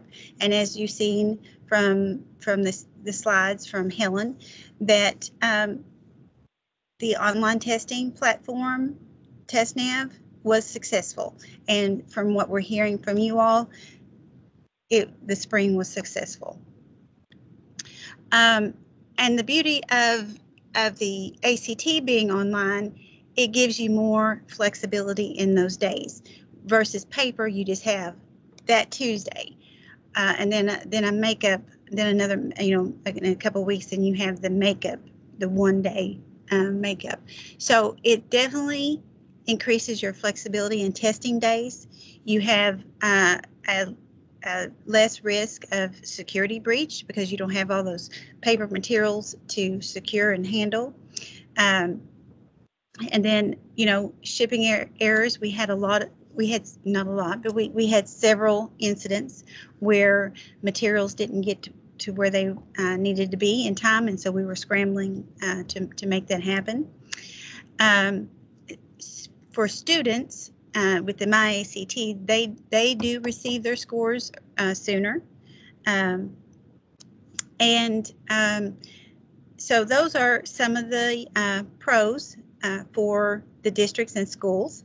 Now there there is um, some uh, cons. Um, there are technology issues that do happen, but ACT, uh, just like KPREP, does have a technology technology team, and they they work uh, very hard during um, during those testing times to resolve any issues that you may be having. Um, you know, and you know you may have connection uh, issues and uh, and and things like that. But those those are things that generally are known about ahead of time and can be resolved one way or the other before the testing begins, uh, because you know as ACT has that, you know, you prep for your your uh, you prep your technology uh, prior to the, the administering uh, an online assessment. and you know sometimes you do have less control over what the student is doing, um, but that's where you know good monitoring um, comes into play, and some some kids just favor paper, you know, and and some adults, you know, um, but with the TestNav, it's it's really come a long way in making it user friendly for those that do favor pa- paper, and um, and some of those um, comes in in the uh, way of pros for students. Um, you have the highlighter, you have the color contrast, you have the line reader. Uh, you can zoom in, uh, you can mask your answers, and you have an answer eliminator and you're able to flag a question for review. If you if a student's in there and mm, I'm not sure about this one, you can flag it and you can come back to it. So for the one pro or the one con that, that I did mention, uh, you know, some people disfavor paper and the you know, parents, students say, wow, this is going to lower my score. Um, ACT uh, com- completed uh, a study uh, to to combat that or to you know find if if that would be the case be when they started um, in 2013 they did a comparability mode study of paper versus online.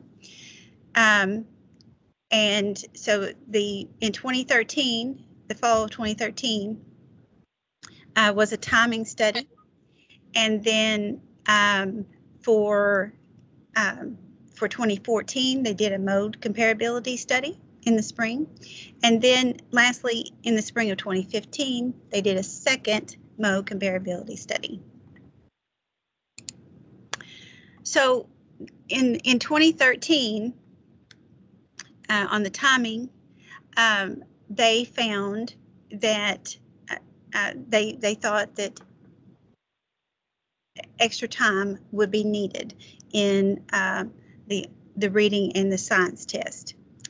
Um, they they thought that they would be um, uh, more. It would it would give them more um, time um, to to to adequately um, complete those tests. So they increased uh, the test, the reading and the, the science by five minutes from that study in 2013. And then uh, in 2014, the results showed that although a little difference had been found in the two modes in terms of test reliability, correlation among the tests, effective weights, and factor structures, uh, item scores, and, and the test scores tended to be higher, and the omission rate, the omission rate tended to be lower for the online group. So that more students were not leaving um, the uh, test answer or test question blank. So, but what they did find is that the extra five minutes was not needed uh, for the reading and the science. And so it, a decision was made to remove that um, for the 2015. So the 2015 uh, showed that the students performed uh, the same as across the modes on the science test, but still higher on the reading test, even without that five extra minutes. So with with with that, um, the uh, Tennessee, who is another state um, that gives the ACT as part of their state uh, program, they have decided to transition fully online. Now, at this point, they're not mandating, but they are announcing this fall in their training that um, that they are going to encourage students. They're going to do a transition approach where this spring they're going to encourage uh, the schools to fully test online. And um, if a school or district wants to test on paper, they're going to encourage them to only select one paper um, date and then minister the, the rest uh, online. And their goal is to be 100% um, online uh, by spring of 2023. So given, um, for those of you who've had uh, experience with online testing, what are some of your experiences and feedback uh, with the ACT exam online? So feel free to to pop your in chat or come off mute because we really want to hear your feedback. I know my students have really appreciated um, just how quickly they are able to receive their scores. Um, so that um, that that early feedback, I think, is helpful uh, as far as their decision making and college choices and whatnot. Right, right, because a lot of them are just just um, just waiting on that, like you said, so they can make a decision on college and and those those scholarships and things that they apply for. So yeah, it is it is nice for them. So um, the 20, I think it was 2013, 2014 um, studies, those really didn't look at one of the things that the newest studies are doing is those really didn't address equity um, concerns. And mm-hmm. what we're seeing in higher ed is the students that are most negatively impacted by online testing is the students that we need to not be negatively impacted by online testing. So it basically increases the um, it, it increases the gap of test scores. Um, and given the state's charge of diversity, equity, and inclusiveness, I find this push really interesting because really the online testing does exactly the opposite. It um, creates a bigger divide between the haves and have nots. Um, students that have technology in front of them all the time do um, statistically better on online testing. Um, those with needs that aren't directly met in schools on a daily basis tend to fall even further behind. And this is another way to basically highlight their um, lack of success. And then that is negatively also has negative ramifications. Um, so, I mean, in in the way of like getting it done, absolutely, online is the best. In serving certain students' needs, I mean, I can speak for Fayette County during um, during COVID, and when we were online, we literally had students that never got a laptop in their hand the entire year for an entire online when they were completely online. We didn't have laptops. Um, and so it works great in small places or schools that can do one-on-ones that can make sure everybody has the technology. Um, but you know, it's, I mean, again, my biggest concern is even if you make sure everybody has it, it is definitely, um, you know, it's a classic cultural capital um, dilemma. And so equity should be a concern. Um, there's no way the schools can address the equity part of it because you'd have to make sure that every student had the same number of hours or same experiences on a computer with these kind of testing things. And we know for a fact those that are in higher income, more educated households um, do test prepping online. So they have practice with this. And one of the kind of levelers, especially as we're seeing in higher ed, was the fact that the pencil and paper allowed them to kind of take that take that component away. So I just I just personally in measurement and testing is my specialty. I mean, we've dealt with this in multiple studies. I mean, it's I don't know, you can't get rid of it unless we're going to literally take all those students aside and teach them the computer skills that other kids have. And we're not going to. We don't have enough we don't have enough support to do that. I mean, they'll offer a test. I know they'll offer a class because that's what we always do. We throw it out there and say, "Oh, we're going to offer a training," um, but those the same families don't go to it. It's the same people that go to it, or they don't have the ability to get that training. So, I just I want an acknowledgement that we know what we're doing. I guess that we are definitely not dealing with the equity divide.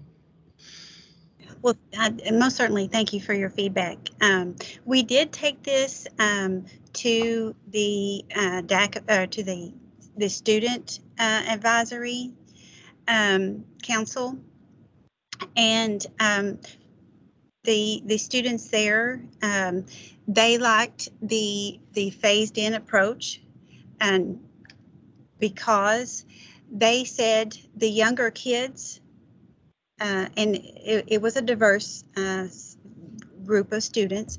They said the younger kids coming in behind them um, had more experience with online testing um, than they did at, at a younger age. So that's why we are, are thinking and exploring the phased in approach with, with this plan and not just, you know, you know, coming up uh, uh, this fall. Um, and, and announce, oh, it, it, ACT is completely online. That's that's why we are exploring the the uh, phased-in approach, based really on what we the feedback that we uh, received from uh, the Student Advisory Council um, uh, about three weeks ago. Um, I, uh, I presented uh, Jennifer Stafford and I presented to them, and that was that was their feedback was um, because of the younger younger ones coming in behind them, they do a lot of online testing. And they felt that they would, those students would be more be, better prepared for a fully online uh, version of the ACT. So that's like nine years from now. Is that what we're saying? Eight or nine years from now? I don't. I don't believe um, eight or nine years, but the the middle school students coming up coming up in behind these students here and i'm i guess i'm not i mean i'm familiar with that group but i'm not familiar with the diversity of that group specifically with socioeconomic status with income mm-hmm. um, and that's my biggest concern okay. so is that is can you speak to the um, to that group and their socio socioeconomic diversity I, I don't, I don't know if the group real familiar uh, but uh, uh, maybe Helen or, or someone could could speak to, to that. But um, I, I know that it was it's a diverse group. Uh, good morning, everyone. Uh, let me jump in here. Uh, good morning, Shara and Helen. Uh, and Kelly, thank you very much for um, uh, addressing the very thoughts that, that we are having on um, the transition to um, online testing um, because we want to take a very um, a- approach that is very thoughtful um, going into such a decision and uh, moving toward uh, the online world. Um, couple of uh, mentioned, um, Shara mentioned the um, the student advisory group. Um, we we don't know the socioeconomic of, of students um, within that. Uh, that's not something that um, uh, we would uh, have the the privilege of knowing that that type of thing. That's you know personal, private student information that we are not access to that uh, for that group. Um, Right. so, but we did hear them. We um, we mentioned to them that this um, this idea because they are the end users of the the system. They are the ones that will uh, be impacted, and we wanted to take it to them first before we get went to any other groups. Um, and if they had have been very uh, discouraging um, instead of encouraging, then we uh, frankly would not have had this conversation, and we would not have brought forward this discussion with um, uh, SCAAC and our other district assessment coordinators that we've um, also been talking with. Um, as Shara mentioned, they had some really good uh, feedback for us. You know, a lot of their um, their comments were positive and encouraging, but they did so um, cautiously. Um, as Helen mentioned in her presentation, we did have online testing um, for the past couple of years statewide.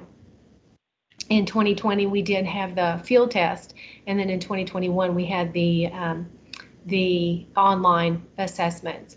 And what the students said is that um, as they get more and more experience with online testing, the better they are becoming with it is basically what uh, that we heard. And the fact that the students that are coming behind them uh, whether they be uh, their you know, whether they're in they're sophomores whether they're juniors whether there are you know eighth graders we don't test at the, the freshman level statewide um, that they are experiencing more and more online and that they were encouraging this to say, you know, this is um, uh, a situation that the students, the younger students, will have more experience with, and therefore be more uh, willing to um, um, move in that direction.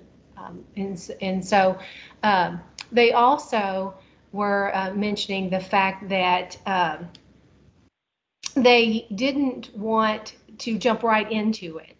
Uh, the fact that um, they were very cautious um, about stepping into the, the online is um, and having more experiences with the tools. Um, as Shara mentioned, it's the same ACT system. The ACT uses the same system as we are uh, moving forward with our Kentucky Summative Assessment. So that is um, some advantages for our students so that it's not different programs or different platforms that they would be using and utilizing uh, for the ACT. Uh, so all of those pieces um, we feel like that are are encouraged by um, to support all of our students toward um, toward the online. But uh, appreciate very much those those comments and um, other comments for for the ACT. Yeah, I think I really appreciate your comments. I guess one of the things that we're paying a lot of attention to at the University of Kentucky, and I think in the nation and the DEI group at um, KDE is as well, is how we use the term diverse. And it's like kind of our catch all. We're like, we have a diverse group or we talk to a diverse group, but we don't always define what we mean by diverse. And so we know lots of times that and you know this, I know you know this, Jennifer, so I say this more for the, because I mean, I've got a lot, I have a lot of experience working with you and your expertise, but when we get students or get groups together to talk about things, there's certain people that are in those groups, right? And there are certain people that are not in those groups, that are not represented in those groups. And so um, I'm just I'm just very concerned about the not represented individuals and um, you know, and Teresa's point about technology. I mean, there's a lot of things that um, that go into this. So I guess my big like my takeaway question is is like is the push to do this to save time and money? Or do you really think this is best for students? Is this really the best way to test students, or is this really basically the most cost effective and the most way to capture the most data? So I'll, I'll, I'll speak to it and then Shara may have other ideas too. Well, there's no cost benefit for Kentucky. There's no cost savings. There's there's nothing like that. So uh, it's for uh, the benefit of the, the students. Um, in that there are um, you, know multiple um, um, advantages for the the students, um, being the fact that they get their um, information back quicker. There are uh, also um, pieces in the My ACT that connect them to um, online materials and online um, like uh, interest surveys and that connect them to the uh, careers and, and, scholarships and things that they would uh, be then qualified for.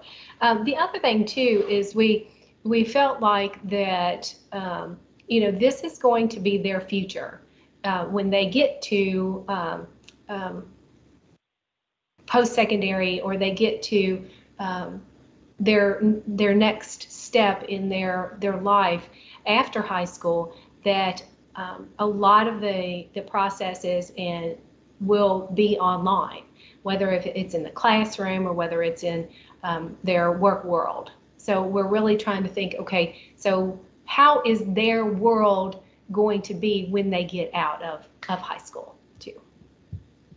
I, I appreciate that. Yeah. And the the suggestion I would have is to make sure they're educated on using those tools because we have a very high acceptance rate at some of our in-state schools, but the students that are taking the online go ahead and click submit their scores and if they have a terrible test assessment that day, it's very detrimental to their application process. But no one talks them through what it means to do those interest inventories, to hit yes in my scores to these schools. And again, that's another advantage of you know different kind of family approaches to these testing but we um, of the small percentage that we um, weren't accepted at some of the institutions. I mean, we haven't done all the analysis, but a couple of my colleagues and I are looking at this. Lots of those students chose to submit ACT scores that were not required to be submitted, and they were awful scores, and they would have been accepted otherwise.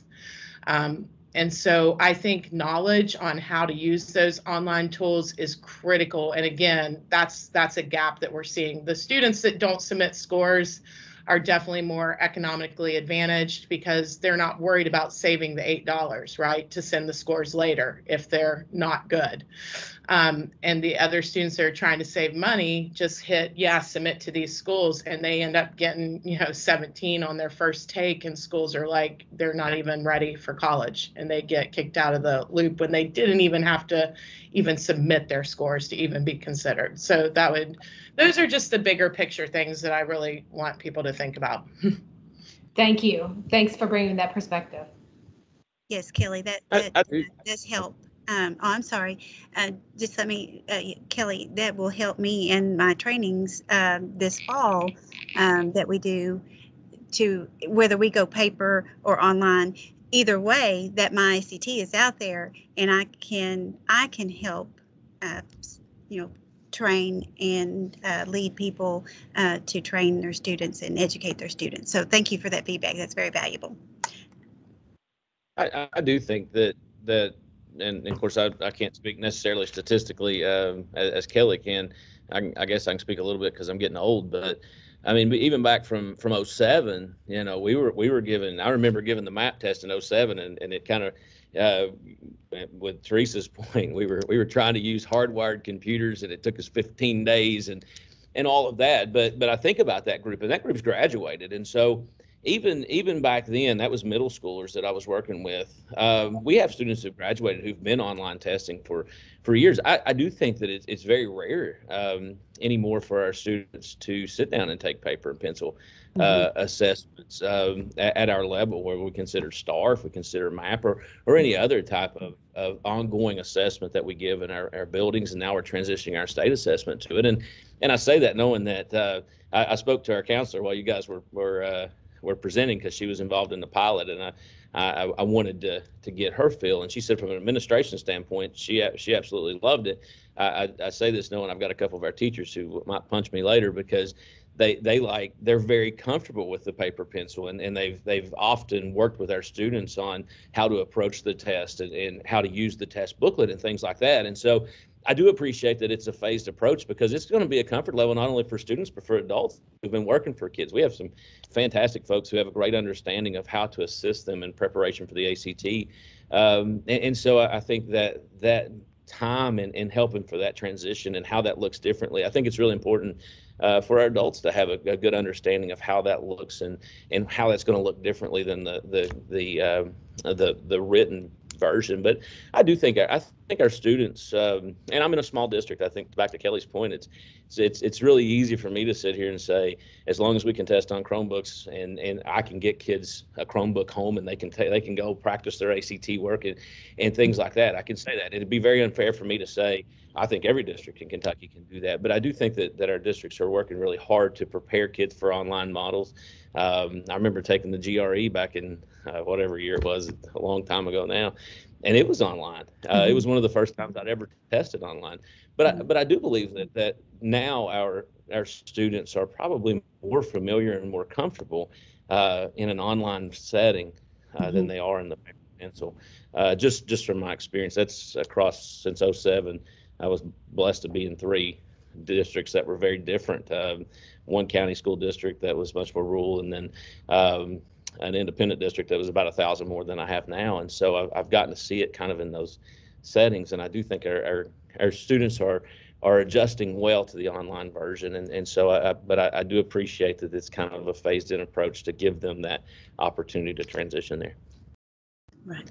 I just want to quickly agree too that I, I'm in Fort Thomas, Kentucky, and we have a very high um, socioeconomic level, very small district. So I often think things shouldn't be as hard as they are. And when you go to different places or bigger areas, it does change the dynamic completely. My mom works in Fayette County and often says to me, you know, we we can't space out like you do. We don't we have buses and you don't. And so there are so many different factors across the board and I think that you would see that in in technology as well. We are one to one and it's easy for us to get everybody in a position to take a test online, but it would be a lot more difficult if we weren't. Um, we wouldn't have those resources. So I I can see how that is an important thing to take into consideration.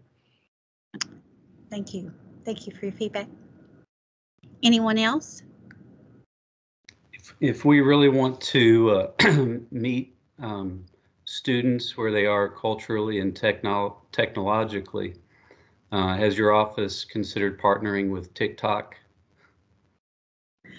Um, Not to my knowledge. That's good. That's good. It's it's really the bane of our existence right now. All right. Well, we appreciate uh, we appreciate what you had to say about technology, and it, it is a difficult transition. There's a lot to take into consideration, um, as Dr. Bradley pointed out. Um, and so, it's interesting to me as a as a history teacher that um, a lot of those challenges are the same challenges that we encountered, you know, hundred years ago, over hundred years ago with uh, our, our very first standardized test with, you know, technology, culture, language, stuff like that. All right. Well, thank you, uh, Ms. Savage. Uh, Ms. Jones, uh, believe uh, we have Dr. Stafford um, next on our agenda. Good to see you, Jennifer. Uh, nice to see you, Scott, and everyone. And I just want to say congratulations to you and Casey again. And again, thank you for your leadership on uh, the SCAAC. You all play a very important role um, in our um, um, system here. We have uh, we come to you for advice, seeking advice, and um, look uh, forward to your continued leadership. Um, let me I've got just um, a small presentation just to, to guide me through some of the, the points that I just want to share with you. And let me pull that up.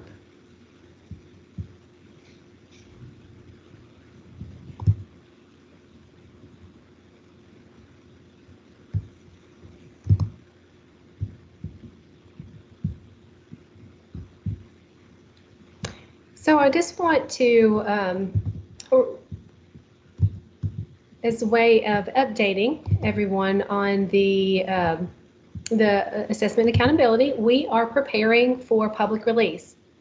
And with uh, public release, it's coming up very quickly. We've gone through a number of our quality control steps. We've worked with our district assessment coordinators over the past month and a half to provide uh, some overview and review of our, of the data. And um, we are currently in the stage of preparing the school report card with that uh, assessment data. Uh, as a reminder, this, these are some points that um, Rhonda and I made with you the last time, but it just as a reminder as we're getting closer to public reporting, there's no accountability. Uh, indicators, there are going to be no ratings such as stars or descriptive words like proficient or distinguished or needs improvement schools, things of that nature. As you recall, um, the Kentucky Department of Education applied for and received uh, approval from the U.S. Department of uh, Education on waiving uh, uh, accountability for the spring of 21. Now, where they were willing to waive accountability, uh, they were not willing to waive assessment. So uh, last spring, we did uh, have um, an extraordinary effort from our local districts and school staff uh, that made uh, incredible efforts to administer state assessments to the students um, within the schools. As you recall, um, none of our state assessments have remote options. So all of those state assessments had to be provided uh, in person. So last spring, the school and districts were offering a, a multitude of learning strategies, including in-person, remote or completely remote or a hybrid between remote and uh, in person. So the students who were in person during the school year uh, in the spring took the assessments or were expected to take the assessments. So the results that will be presented uh, here in the next couple of weeks will be based on the assessed students. So those students that were in the building uh, during the time frame. So that participation um, is important to know. It's important to know the students who did take the assessments and those students who did not take the assessments. We, we had, again, uh, a really good participation rate um, given the circumstances that we were in at the time. The addition to the participation rate that will be presented, there will be some performance as well. So there'll be performance results uh, in 2021 uh, state assessments. There will also be graduation rates.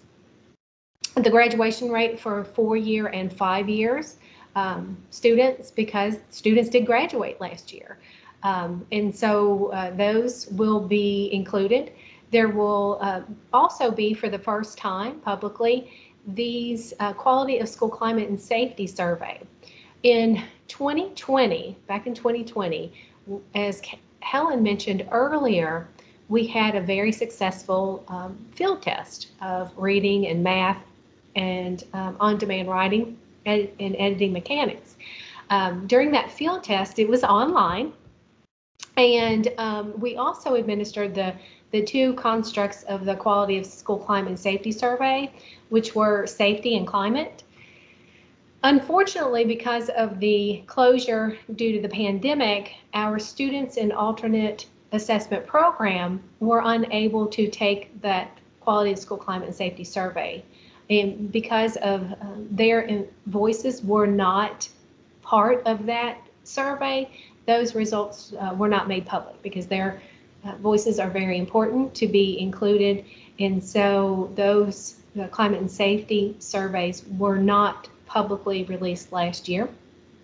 Um, this year, we were able, uh, for the in the spring of 21, able to get all of the students who, again, were in person, uh, administer the survey, and uh, it included uh, what we're calling opportunity to learn items.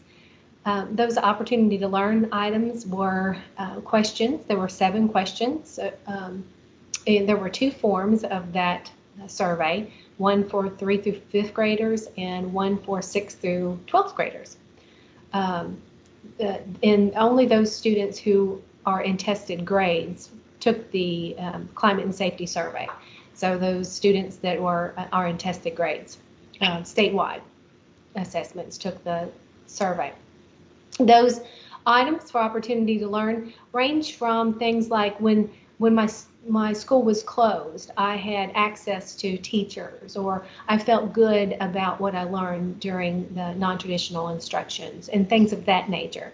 Because we thought it was important to come to an understanding of how students who are, again, impacted by the pandemic and those um, instructional modes uh, felt about the pandemic and what they learned last year. So those will be um, included in the school climate and safety survey results publicly. Uh, now, the responses to those uh, items include um, a range from um, strongly agree, agree, disagree, or strongly disagree. So that range of um, from strongly agree to strongly disagree will be presented uh, publicly. So that gives a little bit of context uh, to the results and how students felt about how they um, learned last year.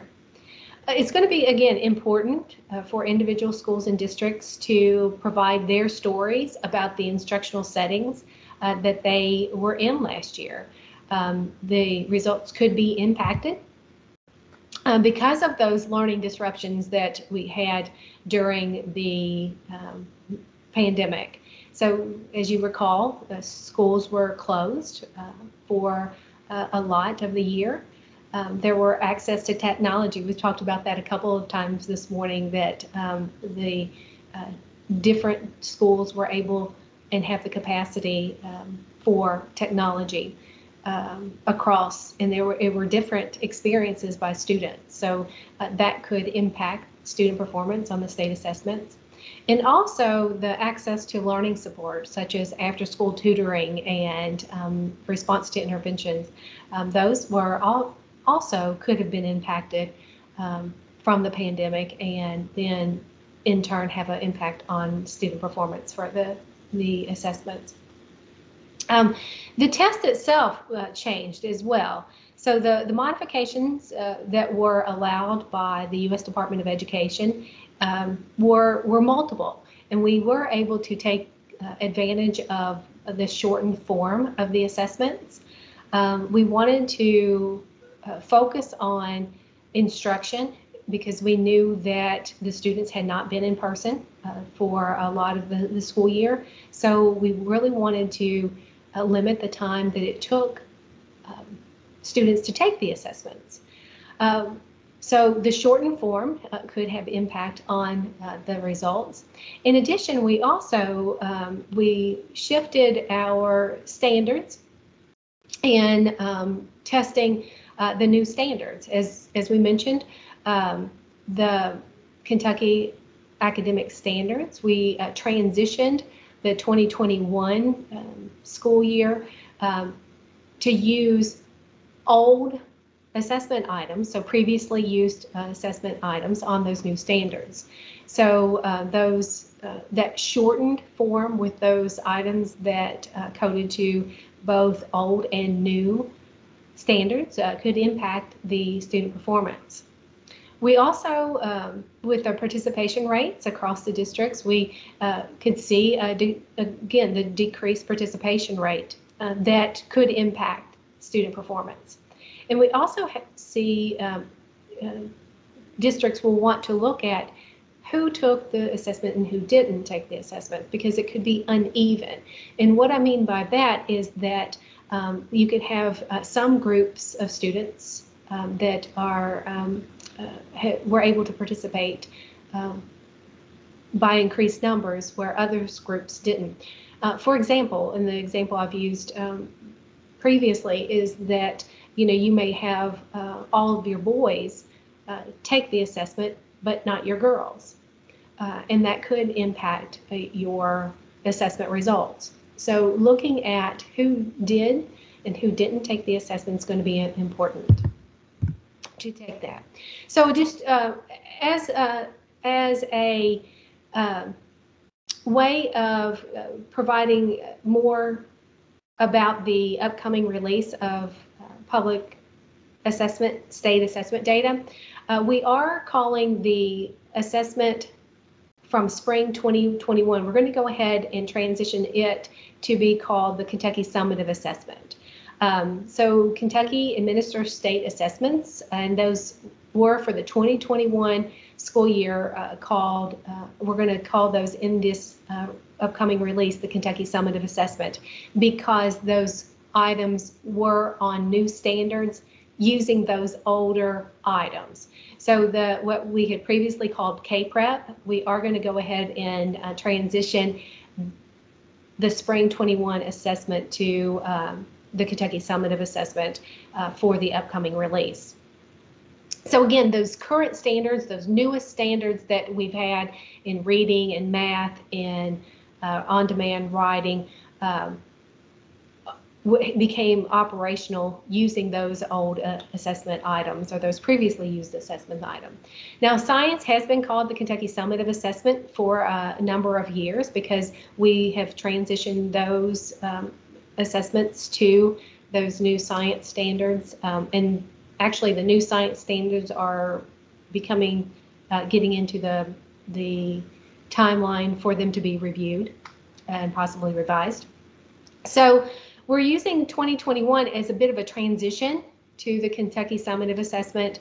Um, and um, since we were able to um, utilize those older items or those previously used items, we're able to maintain uh, the definition of novice, apprentice, proficient, and distinguished. So we were able to keep those um, the same cut scores. So with public reporting in any of the, the media release and um, the public release resources that the Office of Assessment and Accountability has created, those will reference the name Kentucky Summative Assessment. The timeline for public reporting. Um, so Monday, this coming Monday, the 27th, um, state assessment data will be released to uh, districts, uh, district leaders under embargo. So at that point, the district leaders can then begin to uh, work internally um, with um, leaders in, uh, in schools and districts and begin to discuss internally um, what the data is, um, what the data actually are uh, within the schools and districts. The 28th, which is next Tuesday, um, the school report card will be open to media under embargo, and that's working media only. In order for um, the, the media outlets to be able to discuss then with district leaders and school leaders the, the data, prepare their stories, and uh, be able to then run those on September 29th, which will be the public release of the school report card. Now, beginning on the 29th, there'll be a review, um, that what we call the 10-day regulatory review period, where if there are individual student changes that need to be made, um, that it can be made after then that public release of school data. And that uh, runs then again, beginning the 29th and will run for 10 days. Now, I want to note for you that um, there is going to be data that are suppressed um, i- i- within the school report card. We've always had that before, but in the summer of 2020, the Kentucky Department of Education underwent a review from the U.S. Department of Education. It was a monitoring visit. And um, the, the, the department does this on a regular basis because of our, the title funds that the state receives. They will monitor um, our title programs to see that we are adhering as a state to the statutory and regulatory language that the department puts out. And so um, with that review, they um, will come back with some uh, suggestions uh, that uh, are more like requirements that um, that states should adhere to. So with uh, with the some of their uh, requirements, the Kentucky Department of Education will suppress a, a bit more data uh, with the upcoming release. So you may find that there's not um, uh, as much data in the school report card uh, under assessment data as there has been in the past. Um, as just a reminder, um, some reasons why data are suppressed, uh, especially since if there are fewer than 10 students in a grade. Um, if there are situations where groups of students has perform at the same uh, performance level.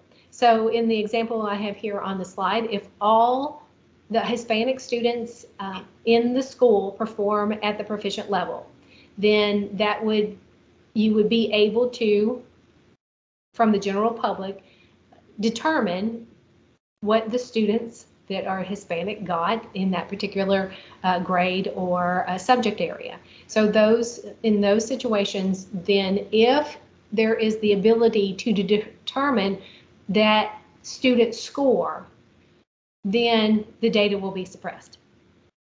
Um, if, there's a, a, as another example, if there are performance levels that have no students, um, in the case that, uh, in that case, then all the student performance for the school would be suppressed at that grade level in that subject. So for example, if all of our Hispanic students um, or, or, all of the students in that grade, for example, uh, reading, uh, uh, no one scored novice, then that grade level and subject then would be suppressed.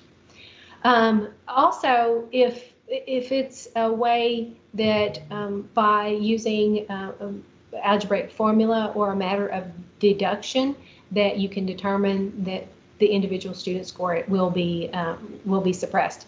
And again, uh, we have situations where we have very small schools and um, that school district uh, school performance could be suppressed. Um, and then when you get aggregated up to the district, that could also be suppressed as well. So for example, if a district has an A5 school, um, say it uh, at the high school level and only one high school, the in the high school data um, is presented in the school report card and the A5 is suppressed, then it's po a possibility that the information would have to be suppressed at the district level because when you add together that one high school, that A5 to aggregate it to the district level, you would be able to determine the students in that A5 school and what their performance was. So again, just want to mention that uh, data uh, in the school report card uh, may be more suppressed than you've seen it in previous years. So just want to give you that that forewarning. And um, what we're, we're, we're really talking through is um, that our our assessment that we gave this year is more of a um, kind of a, a, a one-off assessment.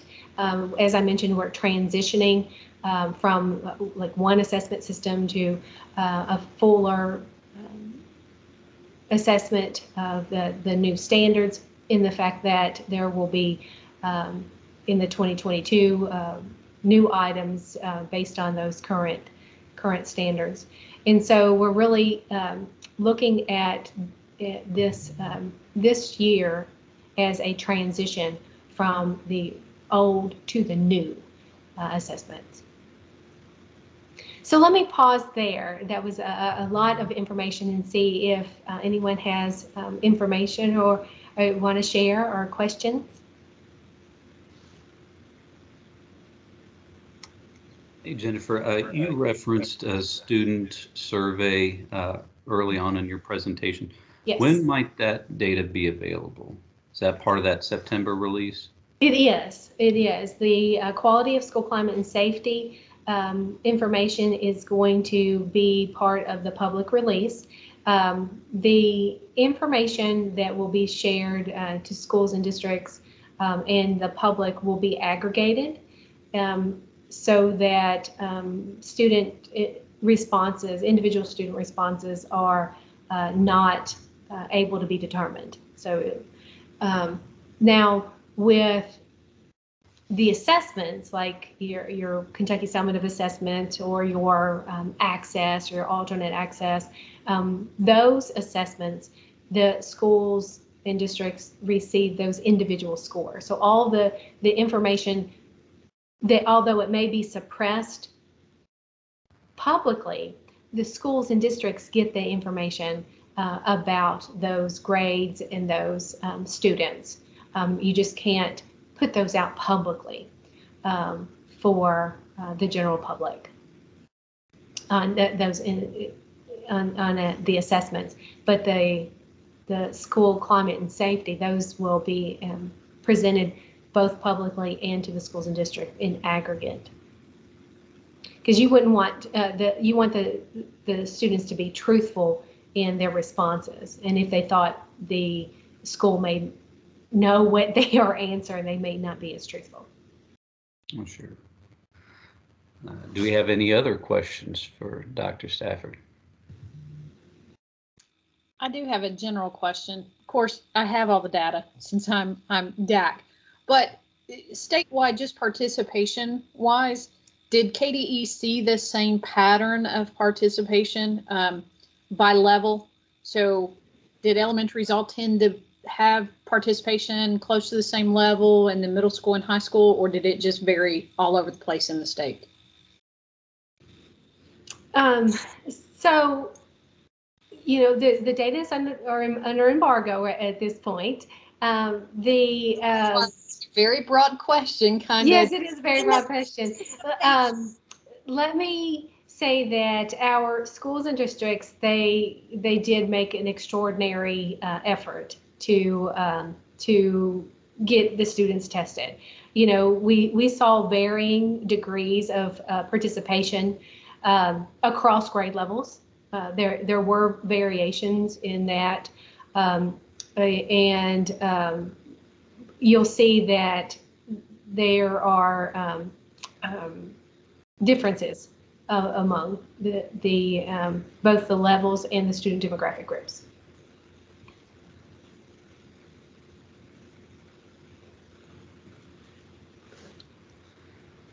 All right, any other questions?